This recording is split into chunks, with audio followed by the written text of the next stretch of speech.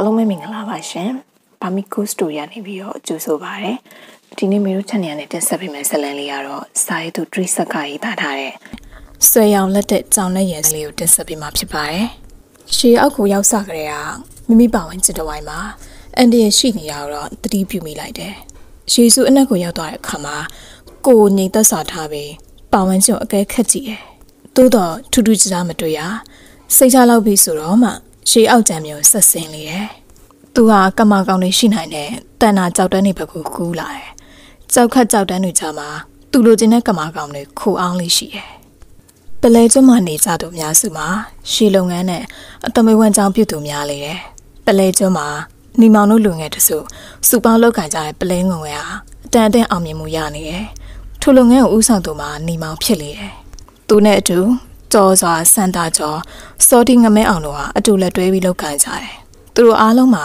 တက်တူရဲတူတွေဖြစ်ပြီးစိတ်တူကိုယ်တူလောက်ကန်နိုင်သူတွေဖြစ်လေတယ်။နီမောင်တို့အဖွဲ့ဟာရှေလုပ်ငန်းတွေကိုစမ်းကျင်သူဖြစ်ပြီးပင်လယ်လုပ်ငန်းတွေကိုကိုယ်တိုင်လောက်ကန်ကြတယ်။ပလဲငုတ်ချင်းငှက်တိုက်ခွာခြင်းတွေကိုတခြားအလုပ်သမားတွေစီခိုင်းတဲ့အပြင်သူတို့အဖွဲ့သားတွေကလည်းကိုယ်တိုင်လောက်ကန်ကြတယ်။အခုလဲမရဏရီလက်ကြနဲ့နေတဲ့ကျွန်းဆက်ကွေးချိုင်ထဲမှာ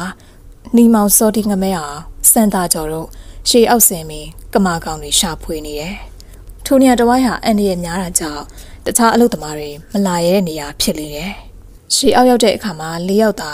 မလမကန်းတနေရာစီခွဲပြီးကမာကောင်တွေရှာဖွေကြတယ်။ကမာကောင်တွေမှာကြောက်စိတ်ကြောက်စွန်းတဲ့ခြိုင်ဝမ်းတွေမှာအများအပြားတွေ့ကြတယ်။ဘာလို့ဒီလောက်အလွယ်တကူရှာတွေ့ရလဲဆိုတော့ထိုနေရာဟာတခြားသူတွေမလာရောက်တဲ့နေရာဖြစ်လေတယ်။သူတို့ကရသမျှကမာကောင်တွေကိုကျိုးအိတ်တွေရဲ့ထည့်ပြီးပြင်အပေါ်ပြန်ပို့လိုက် ပြန်လုံးကနဲ့ရှိနေတယ်။ဒီချိန်မှာမျက်နှာဖုံးဆွတ်ထားပြီးအသက်ရှူကရိယာတက်ထားတဲ့လူ၅ယောက်တို့ဟာရှေးအောက်ကြောက်ဆောင်ခွဲရထွက်လာပြီး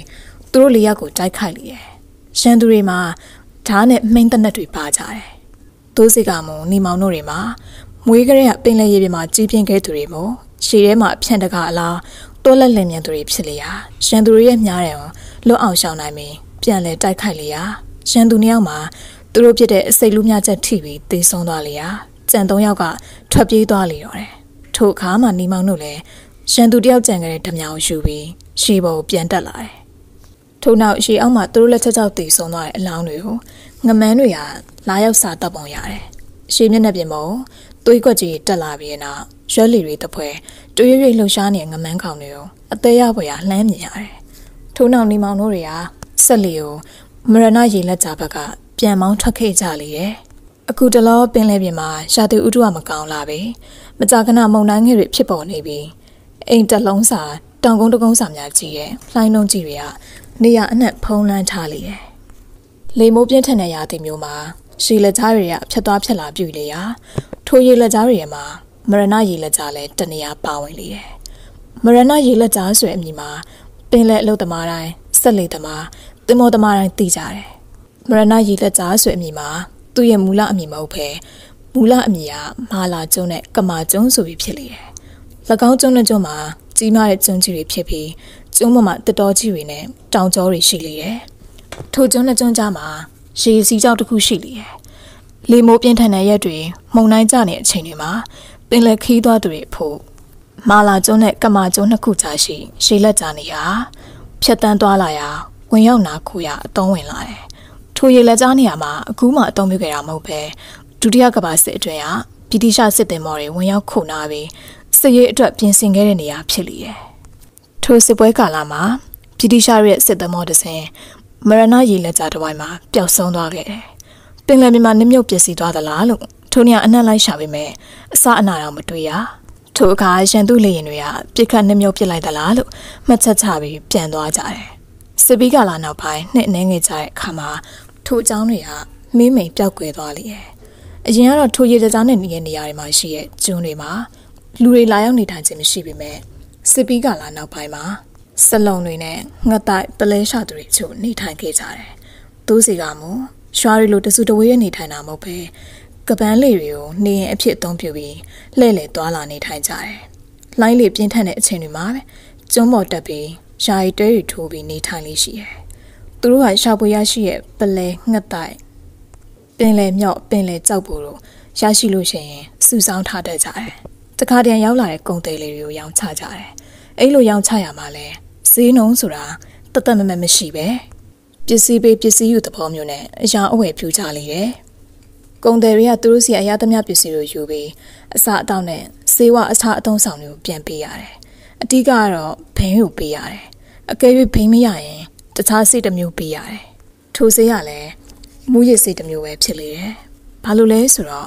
သူတို့ကဘိန်းနဲ့မူရစ်ဆေးကိုတုံးကြရလဲဆိုတော့ထိုဆေးကိုတုံးရခြင်းမှာမူရစ်စေုံတသက်မဟုတ်ပဲရှည်အောက်ဆင်းတဲ့အခါမှာကြာရှည်နေနိုင်မှုအတွက်အသုံးပြုကြရတယ်။ထိုဆေးဥမှာမတုံရရင်ရှည်အောက်မှာကြာရှည်မနေနိုင်ပဲရီနာယောဂါရကြတယ်။ကုံတယ်တွေကထိုခွက်ကိုမြင်တာကြောင့်သူတို့စီလာရင်အစာအသောက်နဲ့ဖိမူရစ်စေတို့မဖြစ်မနေယူဆောင်လာရတယ်။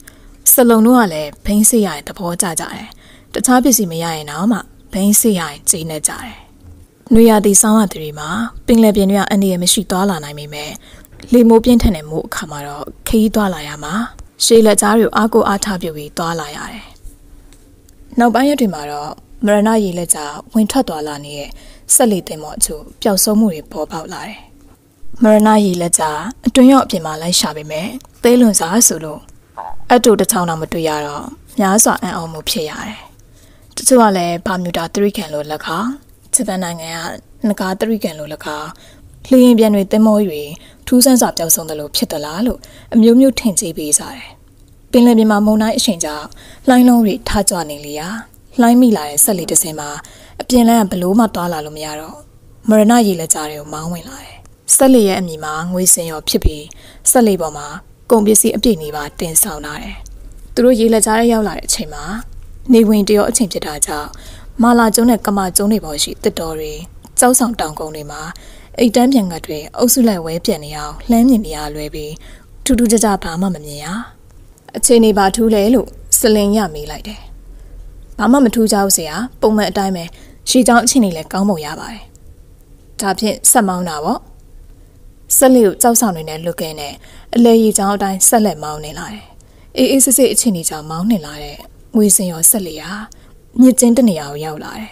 ထို့နေရာတာမန်နေရာတွေထက်အနှဲငယ်ပိုကျင်းလာကြောင်းအလဲရိုးမှာဆက်လက်တစင်သွားတာရုံပဲရှိလေတယ်။ဘေးတစ်ဖက်တစ်ချက်မှာတောင်ကုန်းကြီးတွေရှိပြီးထိုတောင်ကုန်းတွေပေါ်မှာတစ်တော်တစ်ချုံတွေကဖုံးအုပ်ထားလေတယ်။ထိုနေရာဝင်ကနေရောဆလင်ရာ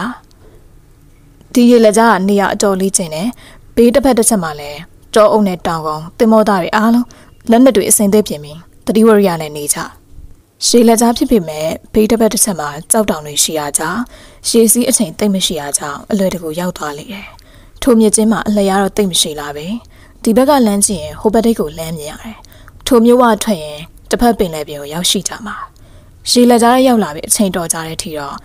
မတင်ကားစရာဘာမှမတွေ့ရ။အေးအေးဆေးဆေးမောင်းနေလာတဲ့ငွေစင်ရောဆက်လျာ ရှေးလက်ကြားအလေလောက်ရောက်တဲ့အခါမှာဆက်လီဝမ်ဘက်ကိုတောင်းနဲ့ညှိရလားအရှိန်နဲ့သွားနေရမှာတုံကနေတုံကနေဖြစ်လာတယ်။ဒါကြောင့်ဆက်လီအရှင်ကိုရှော့ချလိုက်တယ်။ဘာဖြစ်တာလဲ။မသိဘူးစလင်တောင်ကြီးရလားမသိဘူး။ရေချောင်းကမှန်နေတာပဲဆက်လီပေါ်မှာဝင်များလို့များလား။အဲ့လိုပြောနေစင်မှာတွေ့ရွေ့သွားနေတဲ့ဆက်လီမှာရှေအောက်ကတစုံတစ်ခုကဆွဲထားလိုက်တယ်လို့တုံကနေထိုးရက်သွားလေရဲ့။ ရေအောက်ကတခုခုနဲ့ညှိသွားတယ်ထင်တယ်။ယေစုအနက်ဘယ်လောက်ရှိလဲဆိုတာသိအောင်ထိုးရနဲ့ထောက်ကြည့်စမ်း။ယေရှုကအနက်ကြီးတန်တဲ့ဆလင်ဆက်နှစ်တောင်ထိုးဝါဆုံးသွားတာမြို့မထောက်မိသေးဘူးဆလင်အံ့ဩသွားရတယ်ဒီယေရှုအတိုင်းဆိုရင်သူ့ဆက်လေမှာရှေးပေါ်မှာ6တောင်လောက်လွတ်နေသေးရဘာလို့ဆက်လေရက်သွားရလဲစဉ်းစားမနေတော့ပဲလီပါအောင်မြင့်တင်ပြလာရစက်တန်စူညံစွာထပ်ပေါ်လာတယ်လို့ခေါင်းတိုင်ရမိကိုငွေတွေကလည်းအလိမ့်လိုက်ထွက်လာလေရောတယ်ပန်ကာတလက်လည်း နှုံးကြောက်ဆက်လေနောက်ပိုင်းရေလုံးတွေပုတ်ပွားချနေပြီမဲ့ဆက်လေရတော့တလက်မမဆက်မသွားတော့ဘူးစလင်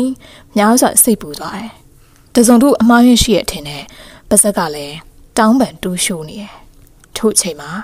ပဝန်းကျင်တစ်ခုလုံးအမောင်ရွတွေဖုံးလန်းလာတယ်။အဲ့ဒီအချိန်မှာငွေစင်ရောဆက်လီပေါ်ကိုကြောက်မက်ဖွယ်ရာအန်ဒီရတွေရောက်လာလေတော့တယ်။ဆက်လီပေါ်မှာပါလာတဲ့ဆက်လီသမားတွေရဲ့ကံကြမ္မာမှာ မကြမီအမောင်တို့ကဖုံးသွားလေတော့တယ်။တနင်္သာရီကမ်းမြောက်ဒေသတခြားမှာအမည်ရှိရဲ့ကျုံအမည်မရှိရဲ့ကျုံပေါင်းများစွာရှိရဲ့အနက်တချို့ကျုံတွေမှာရှိလို့သားတို့နေနိုင်ပေမဲ့တချို့ကျုံတွေမှာတော့အန်ဒီရတွေအမျိုးမျိုးရှိရာကြောင့်လူမနေနိုင်ပေဥပမာမရဏရေလက်ကြားရှိရဲ့ကမာကျုံနဲ့မာလာကျုံတို့မှာလူနေထိုင်လို့မရကမာကျွန်းနဲ့မာလာကျွန်းတို့မဝေးလာတဲ့ပင်လယ်ရေပြင်တနေရာမှာတော့အုံဒီကွန်ဒီတော်တွေနဲ့တာယာဆိုပြေနေတဲ့ကျွန်းတကျွန်းရှိလေတယ် ပလဲကျွန်းဖြစ်ပြီးကြီးမကျက်ပြန်လာတဲ့ကျွန်းကြီးတကျွန်းဖြစ်လေတယ်အရင်ကထိုကျွန်းမှလူမနေပိုင်းတဘာဝအတိုင်းဖြစ်ပေါ်နေရမှာနောက်အခါပင်လယ်ပြင်အနှက်လဲ့လဲပြီးပလဲငုတ်ကြတဲ့လူတစုကထိုကျွန်းကိုရှာဖွေတွေ့ကြတယ်ရှာတဲ့ဥဒုတာရတကြားတခြားအန်ဒီတွေကင်းရှင်းတာကြောင့်ထိုကျွန်းမှာအခြေချနေထိုင်ပြီးထိုကျွန်းတစ်ဝိုက်မှာပလဲရှာဖွေလေရာပလဲအမြောက်များရတာကြောင့်ပလဲကျွန်းလို့အမည်သစ်ပေးခဲ့ကြတယ်ပလဲကျွန်းစတင်တွေ့ရှိပြီးလာရောက်နေထိုင်သူတွေထဲမှာ နီမောက်ဖခင်ဦးရှိန်မောင်လည်းတယောက်အပါဝင်ဖြစ်လေတယ်နီမောင်တို့နေထိုင်ကြတဲ့စကန်မှာကန်းနဲ့မနေမဝေးအုံတော်ဆက်မှာရှိပြီးတဲတန့်ရပြီးစောက်လုပ်ထားတယ်ရိတ်ခပစ္စည်းတွေတူလောင်ထားပြီးထူဒေသအနေတစ်ဝိုက်ရှိရေလုတ်တာတော့လိုအပ်တဲ့ပစ္စည်းတွေကိုထုတ်ပေးလေတယ်။သူတို့ရလာတဲ့ပလဲငှက်တိုက်စားတဲ့ပစ္စည်းတွေကိုလည်းစေးတင်ပြီးဝယ်ယူလေတယ်။ညီမောင်တို့လုပ်ငန်းမှာတာမယ်လုပ်ငန်းလေးမဟုတ်တော့ပဲအရင်အနည်းများတဲ့ပလဲအယောင်းဝယ်လုပ်ငန်းဖြစ်နေပြီ။ညီမောင်အနေနဲ့ ဒီလိုပိုင်ဆိုင်လာရခြင်းမှာလွယ်လွယ်ကူကူရရှိခဲ့တာတော့မဟုတ်။ဖခင်ရှိစဉ်ကတည်းကသူနဲ့အတူပင်လယ်ပြုံလိုက်ပါသွားရင်မှာဆယ်နှစ်ကျော်ကျော်အချိန်ကာလအတွင်းမှာလီမုံနိုင်ထံတွေပင်လယ်လှိုင်းလုံးကြီးတွေထံရှီချောင်းလေးချောင်းမှားရမှုတံရှေတတဝါမျိုးစုံနဲ့အမျိုးမျိုးအဖုံဖုံရှင်ဆိုင်ခဲ့ရပုံတွေတခြားအန်ဒီရတွေကိုကြော်လာခဲ့ပြီးမှအခုဘဝမျိုးရောက်ရှိလာတာခုအခါမှာတော့အရင်ရလို့ကပန်းလေးတွေနဲ့ပလဲလျှောက်ပွေတာမဟုတ်တော့ပဲဆက်လေအငယ်စားလေးတွေနဲ့ နေရအနှံ့ပြလှည့်လည်ပြီးပလဲလျှောက်ပွေနိုင်တဲ့အခြေအနေကိုရောက်ရှိခဲ့ပြီပလဲကျုံပောင်ဝင်ချင်မှာနှစ်ပေါင်းများစွာနေထိုင်လာတဲ့အခါထိုနေရာတစ်ဝိုက်ကအန်ဒီရရှိလာတဲ့နေရာတွေကိုမှတ်မိနေတယ်။နီမောင်ရရှိရဲ့ပလဲနဲ့တခြားကုန်တွေကိုဆက်သွယ်ရောင်းချပြီးအဲ့လိုရောင်းချတဲ့တရေမှာဖိတ်မြို့ပေါ်ကစောင်းမြင့်ရတနာကုန်တဲ့ဥလှပေါ်ဖြစ်လေတယ်။ဥလှပေါ်မှာညီမဖခင်ဥရှိန်မောင်နဲ့ခင်မင်းနဲ့မိတ်ဆွေတွေဖြစ်ပြီးရှေးကလေးကအဆက်အဆံပြုခဲ့ကြတယ်။ဥရှိန်မောင်မရှိရလို့ ညီမဦးစီးရဲ့ခါမှာလည်းရှေးရအတိုင်းဥလှပေါ်နဲ့ပဲဆက်လက်လုပ်ကင်ခဲ့ကြတယ်။ဒီတပတ်တော့မိုးလေဝသအခြေအနေကောင်းတာကြောင့်ပလဲနဲ့အခြားပစ္စည်းအမြောက်အများဝယ်ယူရရှိထားစင်ပါပဲ။ဘိန်းမြို့ကပို့တဲ့ဆက်လေကျုံနဲ့နီမောက်စီကိုစတဆောင်ရောက်လာတယ်။ဖောက်ကြည့်လိုက်တော့တထေးဦးလာပေါ်စီကစာဖြစ်လေတယ်။မောင်နီမောင်အရေးကြီးကိစ္စတမ်းမေးရရှိလို့အမြန်လာပါ။နေကြဘက်ကကုန်တယ်ရောက်နေရကြောင့်ရရှိတဲ့ကုန်ပစ္စည်းတွေပါတပါးရဲယူဆောင်လာပါ။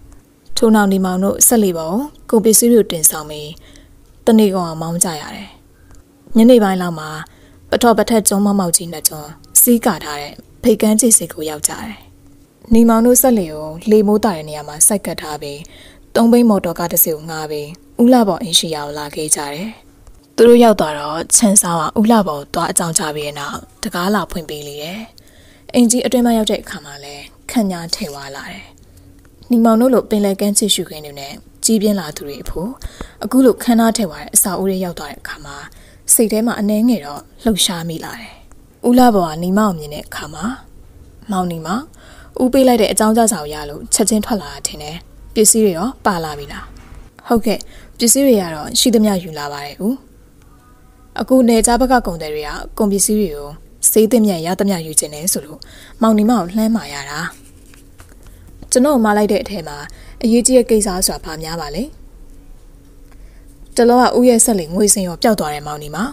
တရင်ကြတာတော့မရဏရီလက်ကြထဲမှာပျောက်သွားတာတဲ့ဦးရဲ့မိတ်ဆွေအကူညီနဲ့တော့နေရာအတော်များများလိုက်ရှာပြီးပြီဘယ်နေရာမှမတွေ့ရအောင်မရဏရီလက်ကြားဆိုတာဆက်လေသမားတွေရဲ့လောကမှာအတော်လေးခရက်ထနေတာမောင်နီမောင်တို့နေရဲ့ပလင်းကျုံနဲ့နီးတယ်မဟုတ်လားတိတ်တော့မဝေးလာဘူး ကျွန်တော်တို့ရောက်တခါတည်းရန်ပလဲသွားငုတ်ပူပါတယ်ဒါပေမဲ့အဖေတို့လက်ထက်တွေတော့ကတော့အဲ့လိုအဖြစ်အပျက်တွေမကြားမိပါဘူးဟုတ်တယ်ဦးရရဲ့ဆက်လေတွေရောတင်မောတွေပါအရင်တုန်းကတည်းကအဲ့ရီလက်ကြားအမြဲသွားလာနေတာဒီလိုအဖြစ်မျိုးတွေမကြားမိပါဘူးဦးရဲ့ဆက်လေပျောက်တဲ့တင်ကြားတာစိတ်မကောင်းပါဘူးကျွန်တော်ဘာကူညီရမလဲဦးတခြားတော့မဟုတ်ပါဘူးကွယ်မရဏရီလက်ကြားမောင်နီမောင်တို့နဲ့နီးလေတော့တွိုင်းလာရင်တရင်လေးပါလေးစုံစမ်းပေးစီချင်တာစိတ်ချပါဦး တရင်ထူတာနဲ့ချက်ချင်းအကြောင်းကြပါမယ်ထို့အချိန်မှာအခန်းထဲကိုဦးလာဘော်ရဲ့သမီးခင်ကျော်ဝေဝင်လာတယ်ဖေဖေအဲ့တဲ့တွေကိုညစာကြည့်ဖို့အစင်သေးပြင်ပြီးပါပြီ။အော်ဟုတ်သားပဲညစာစားဖို့အချိန်တော့အတော်လင်းနေပြီ။ကဲမောင်နီမောင်တို့ထမင်းစားရအောင်။ဦးလာဘော်ကနေရာထသွားလေရ။နီမောင်တို့တောင်ရောက်လဲနောက်ကလိုက်သွားလေတယ်။နောက်တနေ့မနက်ပိုင်းမှာပစ္စည်းဝယ်ယူတဲ့ကုန်တဲ့အဖွဲ့ရောက်လာမယ်ဆိုတာကြောင့်နီမောင်တို့မှစောင့်နေလေတယ် မနက်9နာရီမှာကုန်တဲ့အဖွဲ့ရောက်လာတယ်စုစုပေါင်း10ယောက်ပါလာလေရာခေါင်းဆောင်လုပ်ပုံရတဲ့သူပါကျွန်တော်နာမည်ဒီပါပါအားလုံးကတော့ရက်ခဒီပါလို့ခေါ်ပါတယ်တွေ့ရတာဝမ်းသာပါတယ်ကျုံနာမည်ကဦးလှပေါ့သူကတော့နီမောင်ပါတွေ့ရတာဝမ်းသာပါတယ်ကိုနီမောင်ဟုတ်ကဲ့တွေ့ရတာဝမ်းသာပါတယ်နှစ်ယောက်သားအတန်ကြာအောင်လက်ဆွဲနှုတ်ဆက်ပြီးမှလက်ချင်းလွတ်လိုက်တယ် ထို့နောက်နီမောင်တို့ပါလာတဲ့ပလဲနဲ့ငှက်တိုက်စားတဲ့ပစ္စည်းတွေဦးလာဘော်စီမှာရှိတဲ့ပစ္စည်းအားလုံးတို့ကိုတီပါတို့ကဈေးနှုတ်တင်မြောင်ညှိနှိုင်းပြီးဝယ်ယူကြတယ်ပြီးတော့ကိုတီပါပစ္စည်းကကျွန်တော်တို့လိုချင်တယ်လားမပြေဆုံးသေးဘူးဆိုတော့ဒီလိုလုပ်ချင်တယ်ကျွန်တော်ကျုံးတွေအထိတစ်ခေါက်လောက်လဲကြည့်ချင်တယ်အဲ့ဒါဦးလာဘော်ကူညီပေးပါလားရပါတယ်ကွယ်ပင်လယ်ကျုံးတွေမှာမောင်နီမောင်တို့လည်းနေတာပဲသူတို့စီကိုအရင်သွားပြီးသူတို့စီရောက်မှနောက်နေရာလှည့်သွားရတာပဲ ကိုနီမောင်ကဘယ်မှာနေရလဲပလဲကျွန်းမှာပါပလဲကျွန်းဆိုတော့မရဏကြီးလက်ကြနဲ့နီးတာပေါ့နော်ထိုစကားကြောင့်ဦးလာပေါ်ရောနီမောင်မှာအံ့ဩသွားလေတယ်မောင်ဒီဘအဲ့ဒီကျွန်းလေးဘက်ကိုရောက်ဖူးတယ်ထင်တယ်မရောက်ဘူးပါဘူးမြေပုံထဲမှာတွေ့လို့မေးကြည့်တာဒါကြောင့်ကျွန်တော်တို့မပြန်ခင်တစ်ခေါက်လောက်တော့လှည့်ကြည့်ချင်တာပါစိတ်ချပါကျုပ်ကိုယ်တိုင်လိုက်ပို့ပေးပါမယ်မိုးလေဝသတာရပြီးအစဉ်ပြေးနေမှာသွားတာပေါ့လို့ပြောတော့ ကိုဒီပါတို့အဖွဲ့လည်းပြန်သွားလေတယ်ထို့အခါနေမောင်တို့လည်းအယောင်းပဲကိစ္စပေးရကြောင်းပြန်မို့ပြင်တဲ့အခါမှာဦးလှပေါ်ဟာမောင်နေမောင်တို့ချက်ချင်းမပြန်နိုင်အောင်တိုင်ပင်စရာလေးတွေရှိသေးတယ်ဒါကြောင့်တရက်ဆက်နေရတယ်နေ့လေစာစားပြီးတော့ဦးလှပေါ်ဟာသူ့ရဲ့စာကြည့်ခံနဲ့ခေါ်သွားပြီမင်းတို့ချက်ချင်းမပြန်ခိုင်းတာအကြောင်းရှိရဲ့အခုရောက်လာတဲ့ကုန်းတဲ့အဖွဲ့ကိုသိပြီးမသိငါအောင်သူတို့ကအယောင်းဝယ်ကိစ္စအကြောင်းပြပြီး တခြားအကြံစီတွေလာတာလားလို့စိတ်ထဲမှာထင်နေတာကျွန်တော်လည်းတတိထားမရဘူးအထူးသဖြင့်ကိုကြည်ပါဆွေလူကကုံတဲ့တယောက်နဲ့မတူဘူးသူ့ပုံစံကတိုက်ခိုက်ရေးတမတယောက်ပုံစံမျိုးပဲဒါကြောင့်မောင်နီမောင်တို့ချက်ချင်းမပြန်စီချင်တာကျုပ်စိတ်ထဲမှာမောင်ရင်တို့ပြန်တဲ့အခါလမ်းရဆောက်ပြီးတကူအမြကြံစီမလားလို့ထင်နေမိတာဒါထက်သူတို့ကမောင်ရင်တို့ကြုံတွေကိုလာကျင်တယ်လို့ပြောတော့ပို့ပေးလို့တင်ပါမလား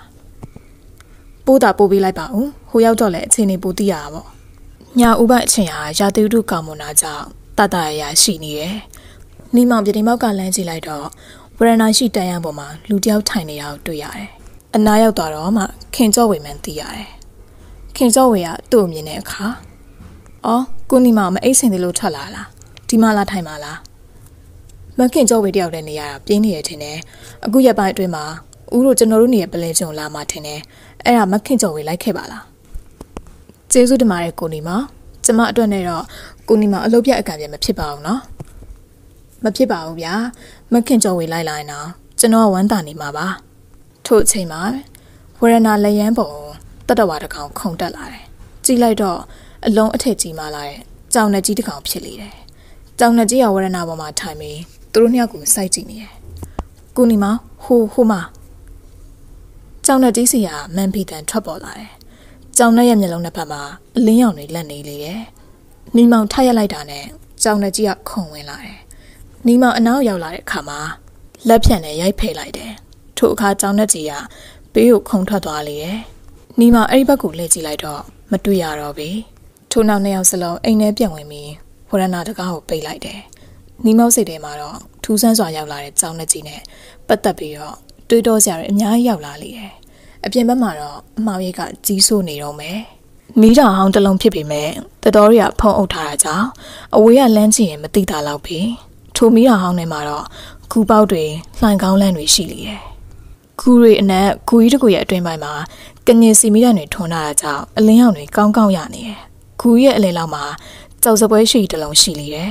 အစွန်ဆုံးထိပ်မှာကြောက်ကလထိုင်ချထားပြီး၎င်းရှိစပွဲပေါ်မှာတော့နွားနုတစ်စလုံးနဲ့ ငကြော်ရီအပြည့်ထည့်ထားတဲ့စလုံးတစ်လုံးကလွဲပြီးတခြားဘာမှမရှိကြောက်စပွဲရဲ့ဘေးတစ်ဖက်တစ်ချက်မှာကလထိုင်နှလုံးစီချထားပြီးမယ်စပွဲထိပ်မှာချထားတဲ့ကလထိုင်ကအနှဲငယ်ပုံမြင်နေတယ်ထိုကလထိုင်ရှိစပွဲပေါ်မှာတော့တခြားဘာမှမရှိထိုကလထိုင်တွေမှာအမှတ်134ဆိုတဲ့ခနန်းတွေရေးသားထားတယ်ည9နာရီထိုးတဲ့အခါမှာအဝင်းနဲ့ကြီးခြုံထားတဲ့လူတစ်ယောက်ရောက်လာတယ်အဆောင်တွေကတားဆီးတဲ့အခါမှာသူကလေဘေးမှာဆွဲထားတဲ့ငွေပြားလေးကိုထုတ်ပြတယ် ထိုငွေပြားရဲ့တစ်ဖက်မှာကြောင်နဲ့ရုပ်ပါပြီးကျန်တစ်ဖက်မှာတစ်ခဏန်ကိုရေးထားလေတယ်ထုံငွေပြားမြင်တဲ့အခါမှာအဆောင်အကူရဲကိုခေါ်သွားပြီးအမတ်တဲလို့ရေးထားတဲ့ကလတ်ထိုင်မှာနေရာချပေးလိုက်တယ်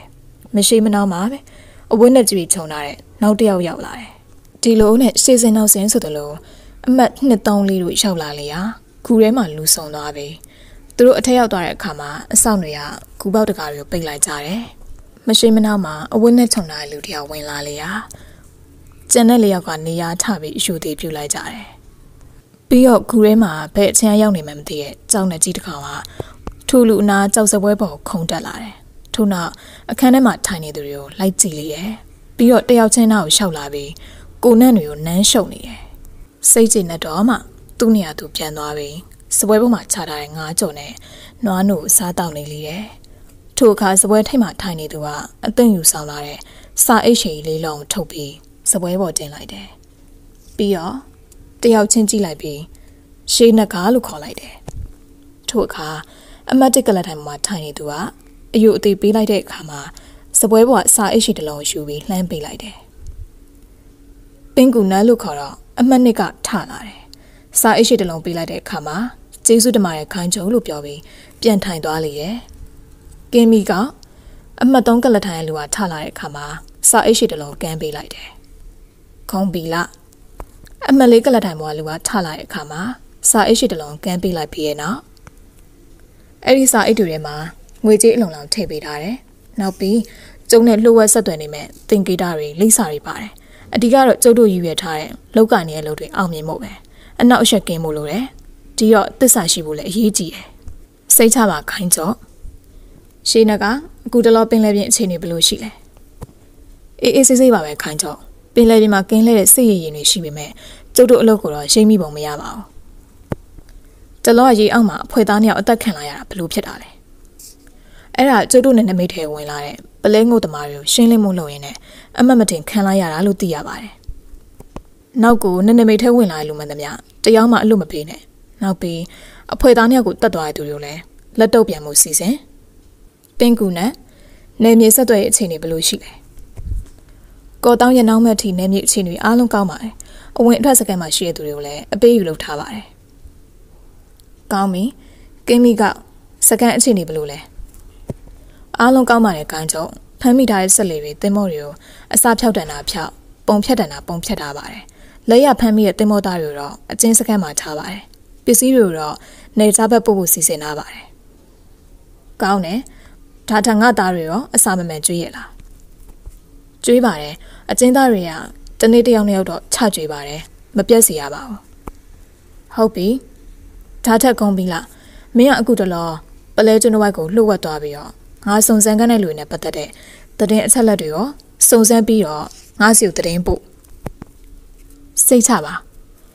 အဲ့တော့သူတို့မရိပ်မိဖို့အရေးကြီးရယ်ပလဲကျွန်းအဖွဲကအစွဲနဲ့နဲ့ထပ်ပုံရတယ်တတိထား အားလုံးကိုတာဝန်ကိုကြည်တာအဓိကတော့လုပ်ငန်းအပေါ်မှာနဲ့တို့ရဲ့ခိုင်းပေါ်မှာသစ္စာမဖောက်ဖို့အရေးကြီးတယ်သစ္စာဖောက်သူတွေထိုက်တန်တဲ့ယောကြီးကတော့အသက်ပဲ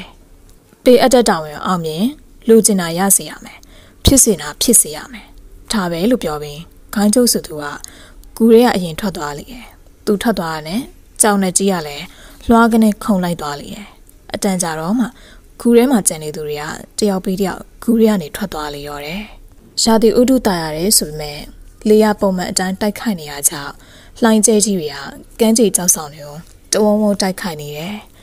ပလဲကျွန်းအရှိဘက်ကိုထိုးထွက်နေတဲ့ကြောက်ဆုံးလေးပေါ်မှာနှီမောင်ရှိနေတယ်သူကကြောက်ဆုံးပေါ်မှာပင်လယ်မျက်နှာပြင်ဘက်ကိုမျက်နှာမူပြီးစိတ်ဆွမ်းအားတစ်ခုလေးကျင်နေတယ်။သူ့အာယုန်ထဲမှာအဖဦးဆိုင်တော်တင်ကြားပေးတဲ့စကားသံတွေကပဲ့တင်ထန်နေတယ်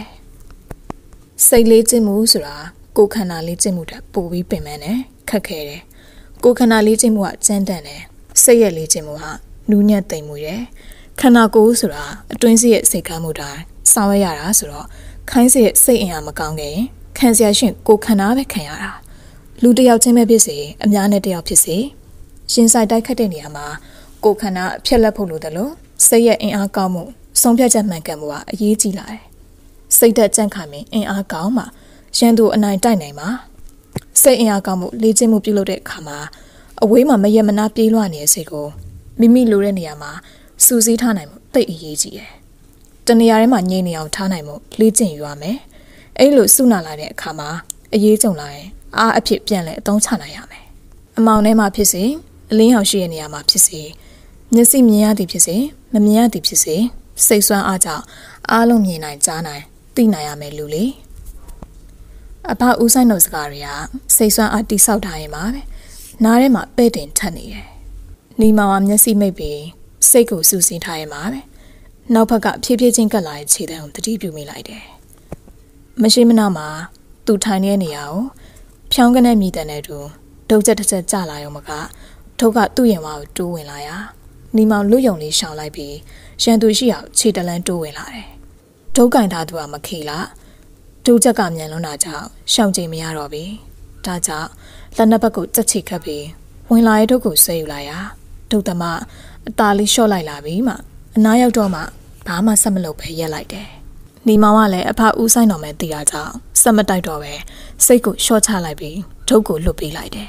။ဒါပဲသူ့ရဲ့မဟာအမားဖြစ်လေတယ်။ဦးဆိုင်တော်ကနီမောင်လွတ်ပေးလိုက်တဲ့ဒုတ်ကိုဖြတ်ခနဲပြန်ဆွဲယူသွားပြီးတန်းရိုက်ချလိုက်တယ်။ နီမောင်မှစိတ်လျှော့လိုက်တာကြောင့်ဘလို့မှအဆင်သင့်မဖြစ်တော့ပဲဝင်လာတဲ့ထုတ်ချက်ကိုမရှောင်နိုင်တော့ပဲ။ဒါကြောင့်လက်ဖြန့်နဲ့စီးကာပေးလိုက်ရတယ်။ရိုက်ချက်ပြင်းတာကြောင့်မဟန်နိုင်တော့ပဲကြောက်သားပေါ်လဲကျသွားလိမ့်တယ်ဘလို့များလှုပ်လိုက်တာလဲအဖရဲ့ငါဘလို့လှုပ်လိုက်တယ်ဆိုတာမင်းမမြင်ဘူးလားဘာလို့ငါလက်ထဲကထုတ်ကိုရအောင်ယူပြီးအပီးတောင်စက်မတိုင်ပဲနဲ့ရှော့ချပစ်လိုက်ရလဲအဖမန်းသိလို့ပါတိုက်ခိုက်ပြီးဟေးဆိုရင် ရန်သူရဲ့မိတ်ဆွေရဲ့ဆိုတာမရှိဘူးအနိုင်တိုက်ဖို့ကအတိကပဲကျွန်တော်မှားသွားပါတယ်အဖမှားရဲဆိုတာအခုလိုအချိန်နေမျိုးမှာတောင်းပန်လို့ရတာတကယ်ရန်သူနဲ့တွေ့တဲ့အခါမှာအဲ့လိုတောင်းပန်လို့ရမှာမဟုတ်ဘူးသေရုံမရှိမယ်မင်းအပြစ်ကိုမင်းသိရဆိုရင်တန်ကြီးလေးဆောင်လိုက်ပါဟုတ်ကဲ့နီမောင်ဆောင်ရမယ့်တန်ကြီးမှာမတက်တာလားပဲနေရရုတ်တရက်ပြေးပြီးကမ်းပါထိတ်အောင်ပြေးတက်ရတယ်ထိုထိတ်ကိုရောက်တော့ ပေတရာနဲ့တဲ့6ထဲကိုထိုင်ပင်ထိုးဆင်းရတယ်ပင်လယ်ရေအောက်ရောက်တဲ့အခါမှာအတော်ဝေးမှရှိတဲ့ကမ်းခြေအောင်ဆက်ကူရတယ်ထိုကမ်းရောက်တာနဲ့ဒီဘက်ကမ်းရောက်ပြန်ကူးလာရတယ်ဒီဘက်ကမ်းပြန်ရောက်တဲ့အခါမှာ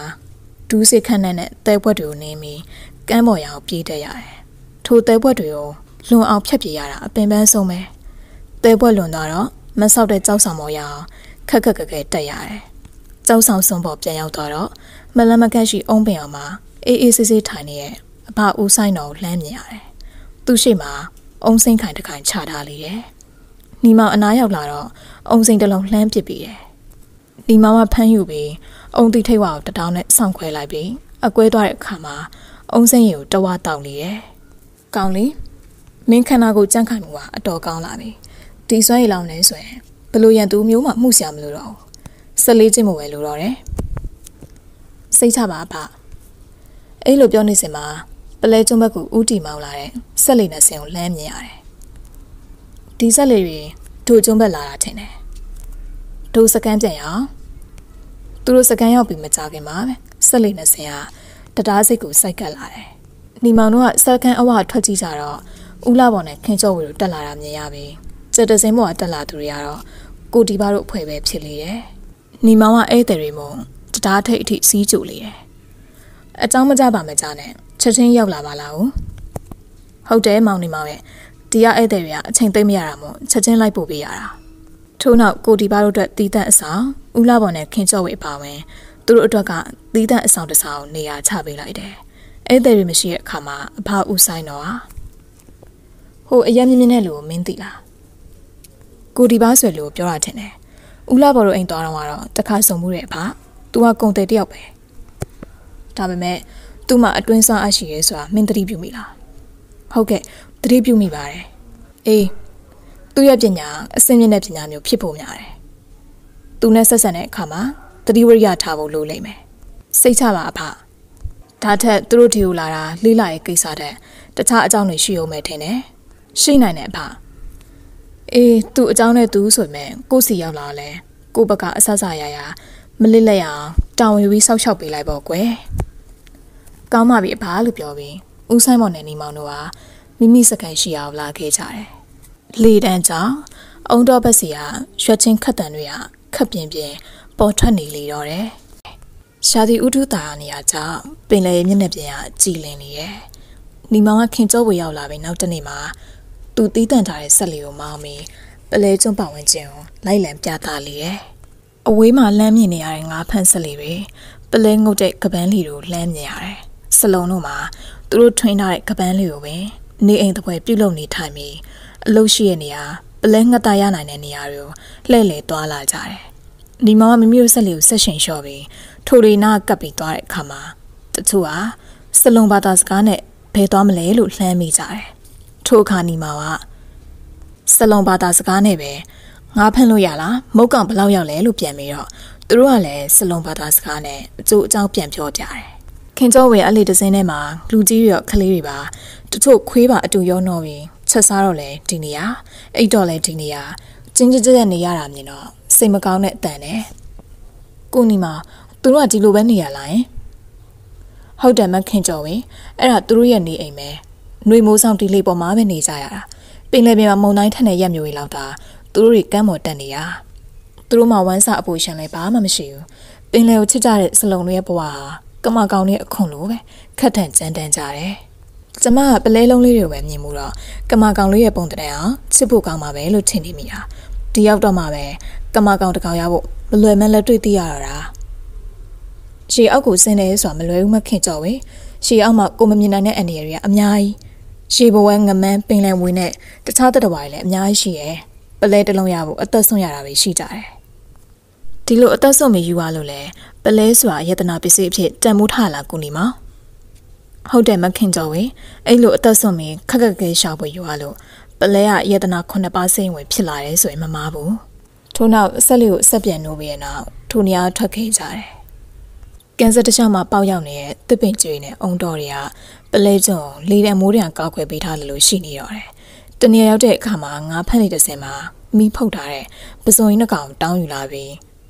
ဆက်လေကိုရက်လိုက်လေရဲ့။ပြီးတော့နီမောင်ကအနည်းဆုံးအုံးမရအုတ်ခန့်တကောင်ခုတ်ချတယ်။တောက်ပါမခင်ကြော်ဝင်အုံးရအပင်အချကစားလက်လက်ဆဆန်းဆိုရင်တိတ်ချူတာကြောက်ပစုံမိဖုတ်သားလဲချူတော့တိတ်လိုက်တာ။ဒီလိုလက်လက်ဆက်ဆက်တဘာဝအရသာမျိုးကတခါစားမိရင်မမေ့လောက်စရာပါပဲအခုလိုပြုစုပေးရတဲ့အတွက်ကျေးဇူးတင်ပါတယ်ကိုနီမကျွန်တော်တို့ပင်လယ်မှာတဘာဝအစားအစာတွေပဲရှိတာမြို့မှာလို့စံစံမြများစားတော့စရာတွေမရှိတော့ကျွန်တော်စိတ်ထဲမှာ အားနာနေမိတာတဘာဝပေးရဲ့အစားအစာဆိုတာအလွယ်တကူဝယ်လို့ရတဲ့ပစ္စည်းတွေပိုပြီးကောင်းပါတယ်ကျမအတွက်ကတော့ဒီလိုအရသာမျိုးဘာနဲ့မှမလဲနိုင်ပါဘူးထို့နောက်စားတော့ပေးတဲ့အခါမှာနှစ်ယောက်သားဆက်လေပေါ်ပြန်တက်ပြီးကန်းဆက်ကပြန်ထွက်ခဲ့ကြတယ်အဲ့တဲ့ဆက်လေတွေပလဲကျုံရောက်လာပြီးနောက်ကိုတီပါတို့တွေကသူတို့ဆက်လေတစ်စင်းနဲ့ပါဝန်းကျုံသွားလာလေးရှိရယ်။နီမောင်တို့ကနေကန်တို့ရဲ့ဝတ္တရားအတိုင်းလိုက်ပို့ပြီးဖို့ပြောပေမဲ့သူတို့ကလက်မခံပဲသူတို့အစီအစဉ်နဲ့သူသွားလေရယ်။ မနက်မိုးလင်းနဲ့မောင်ထွက်သွားလေရာတခါတည်းညနေပိုင်းမှပြန်ရောက်လာတယ်။ဦးလာဘော်တို့ကတော့နီမောင်တို့အားနာနေတယ်။ညအချိန်ရောက်တဲ့အခါမှာဦးလာဘော်တို့တားဖနေတဲ့တဲဘက်က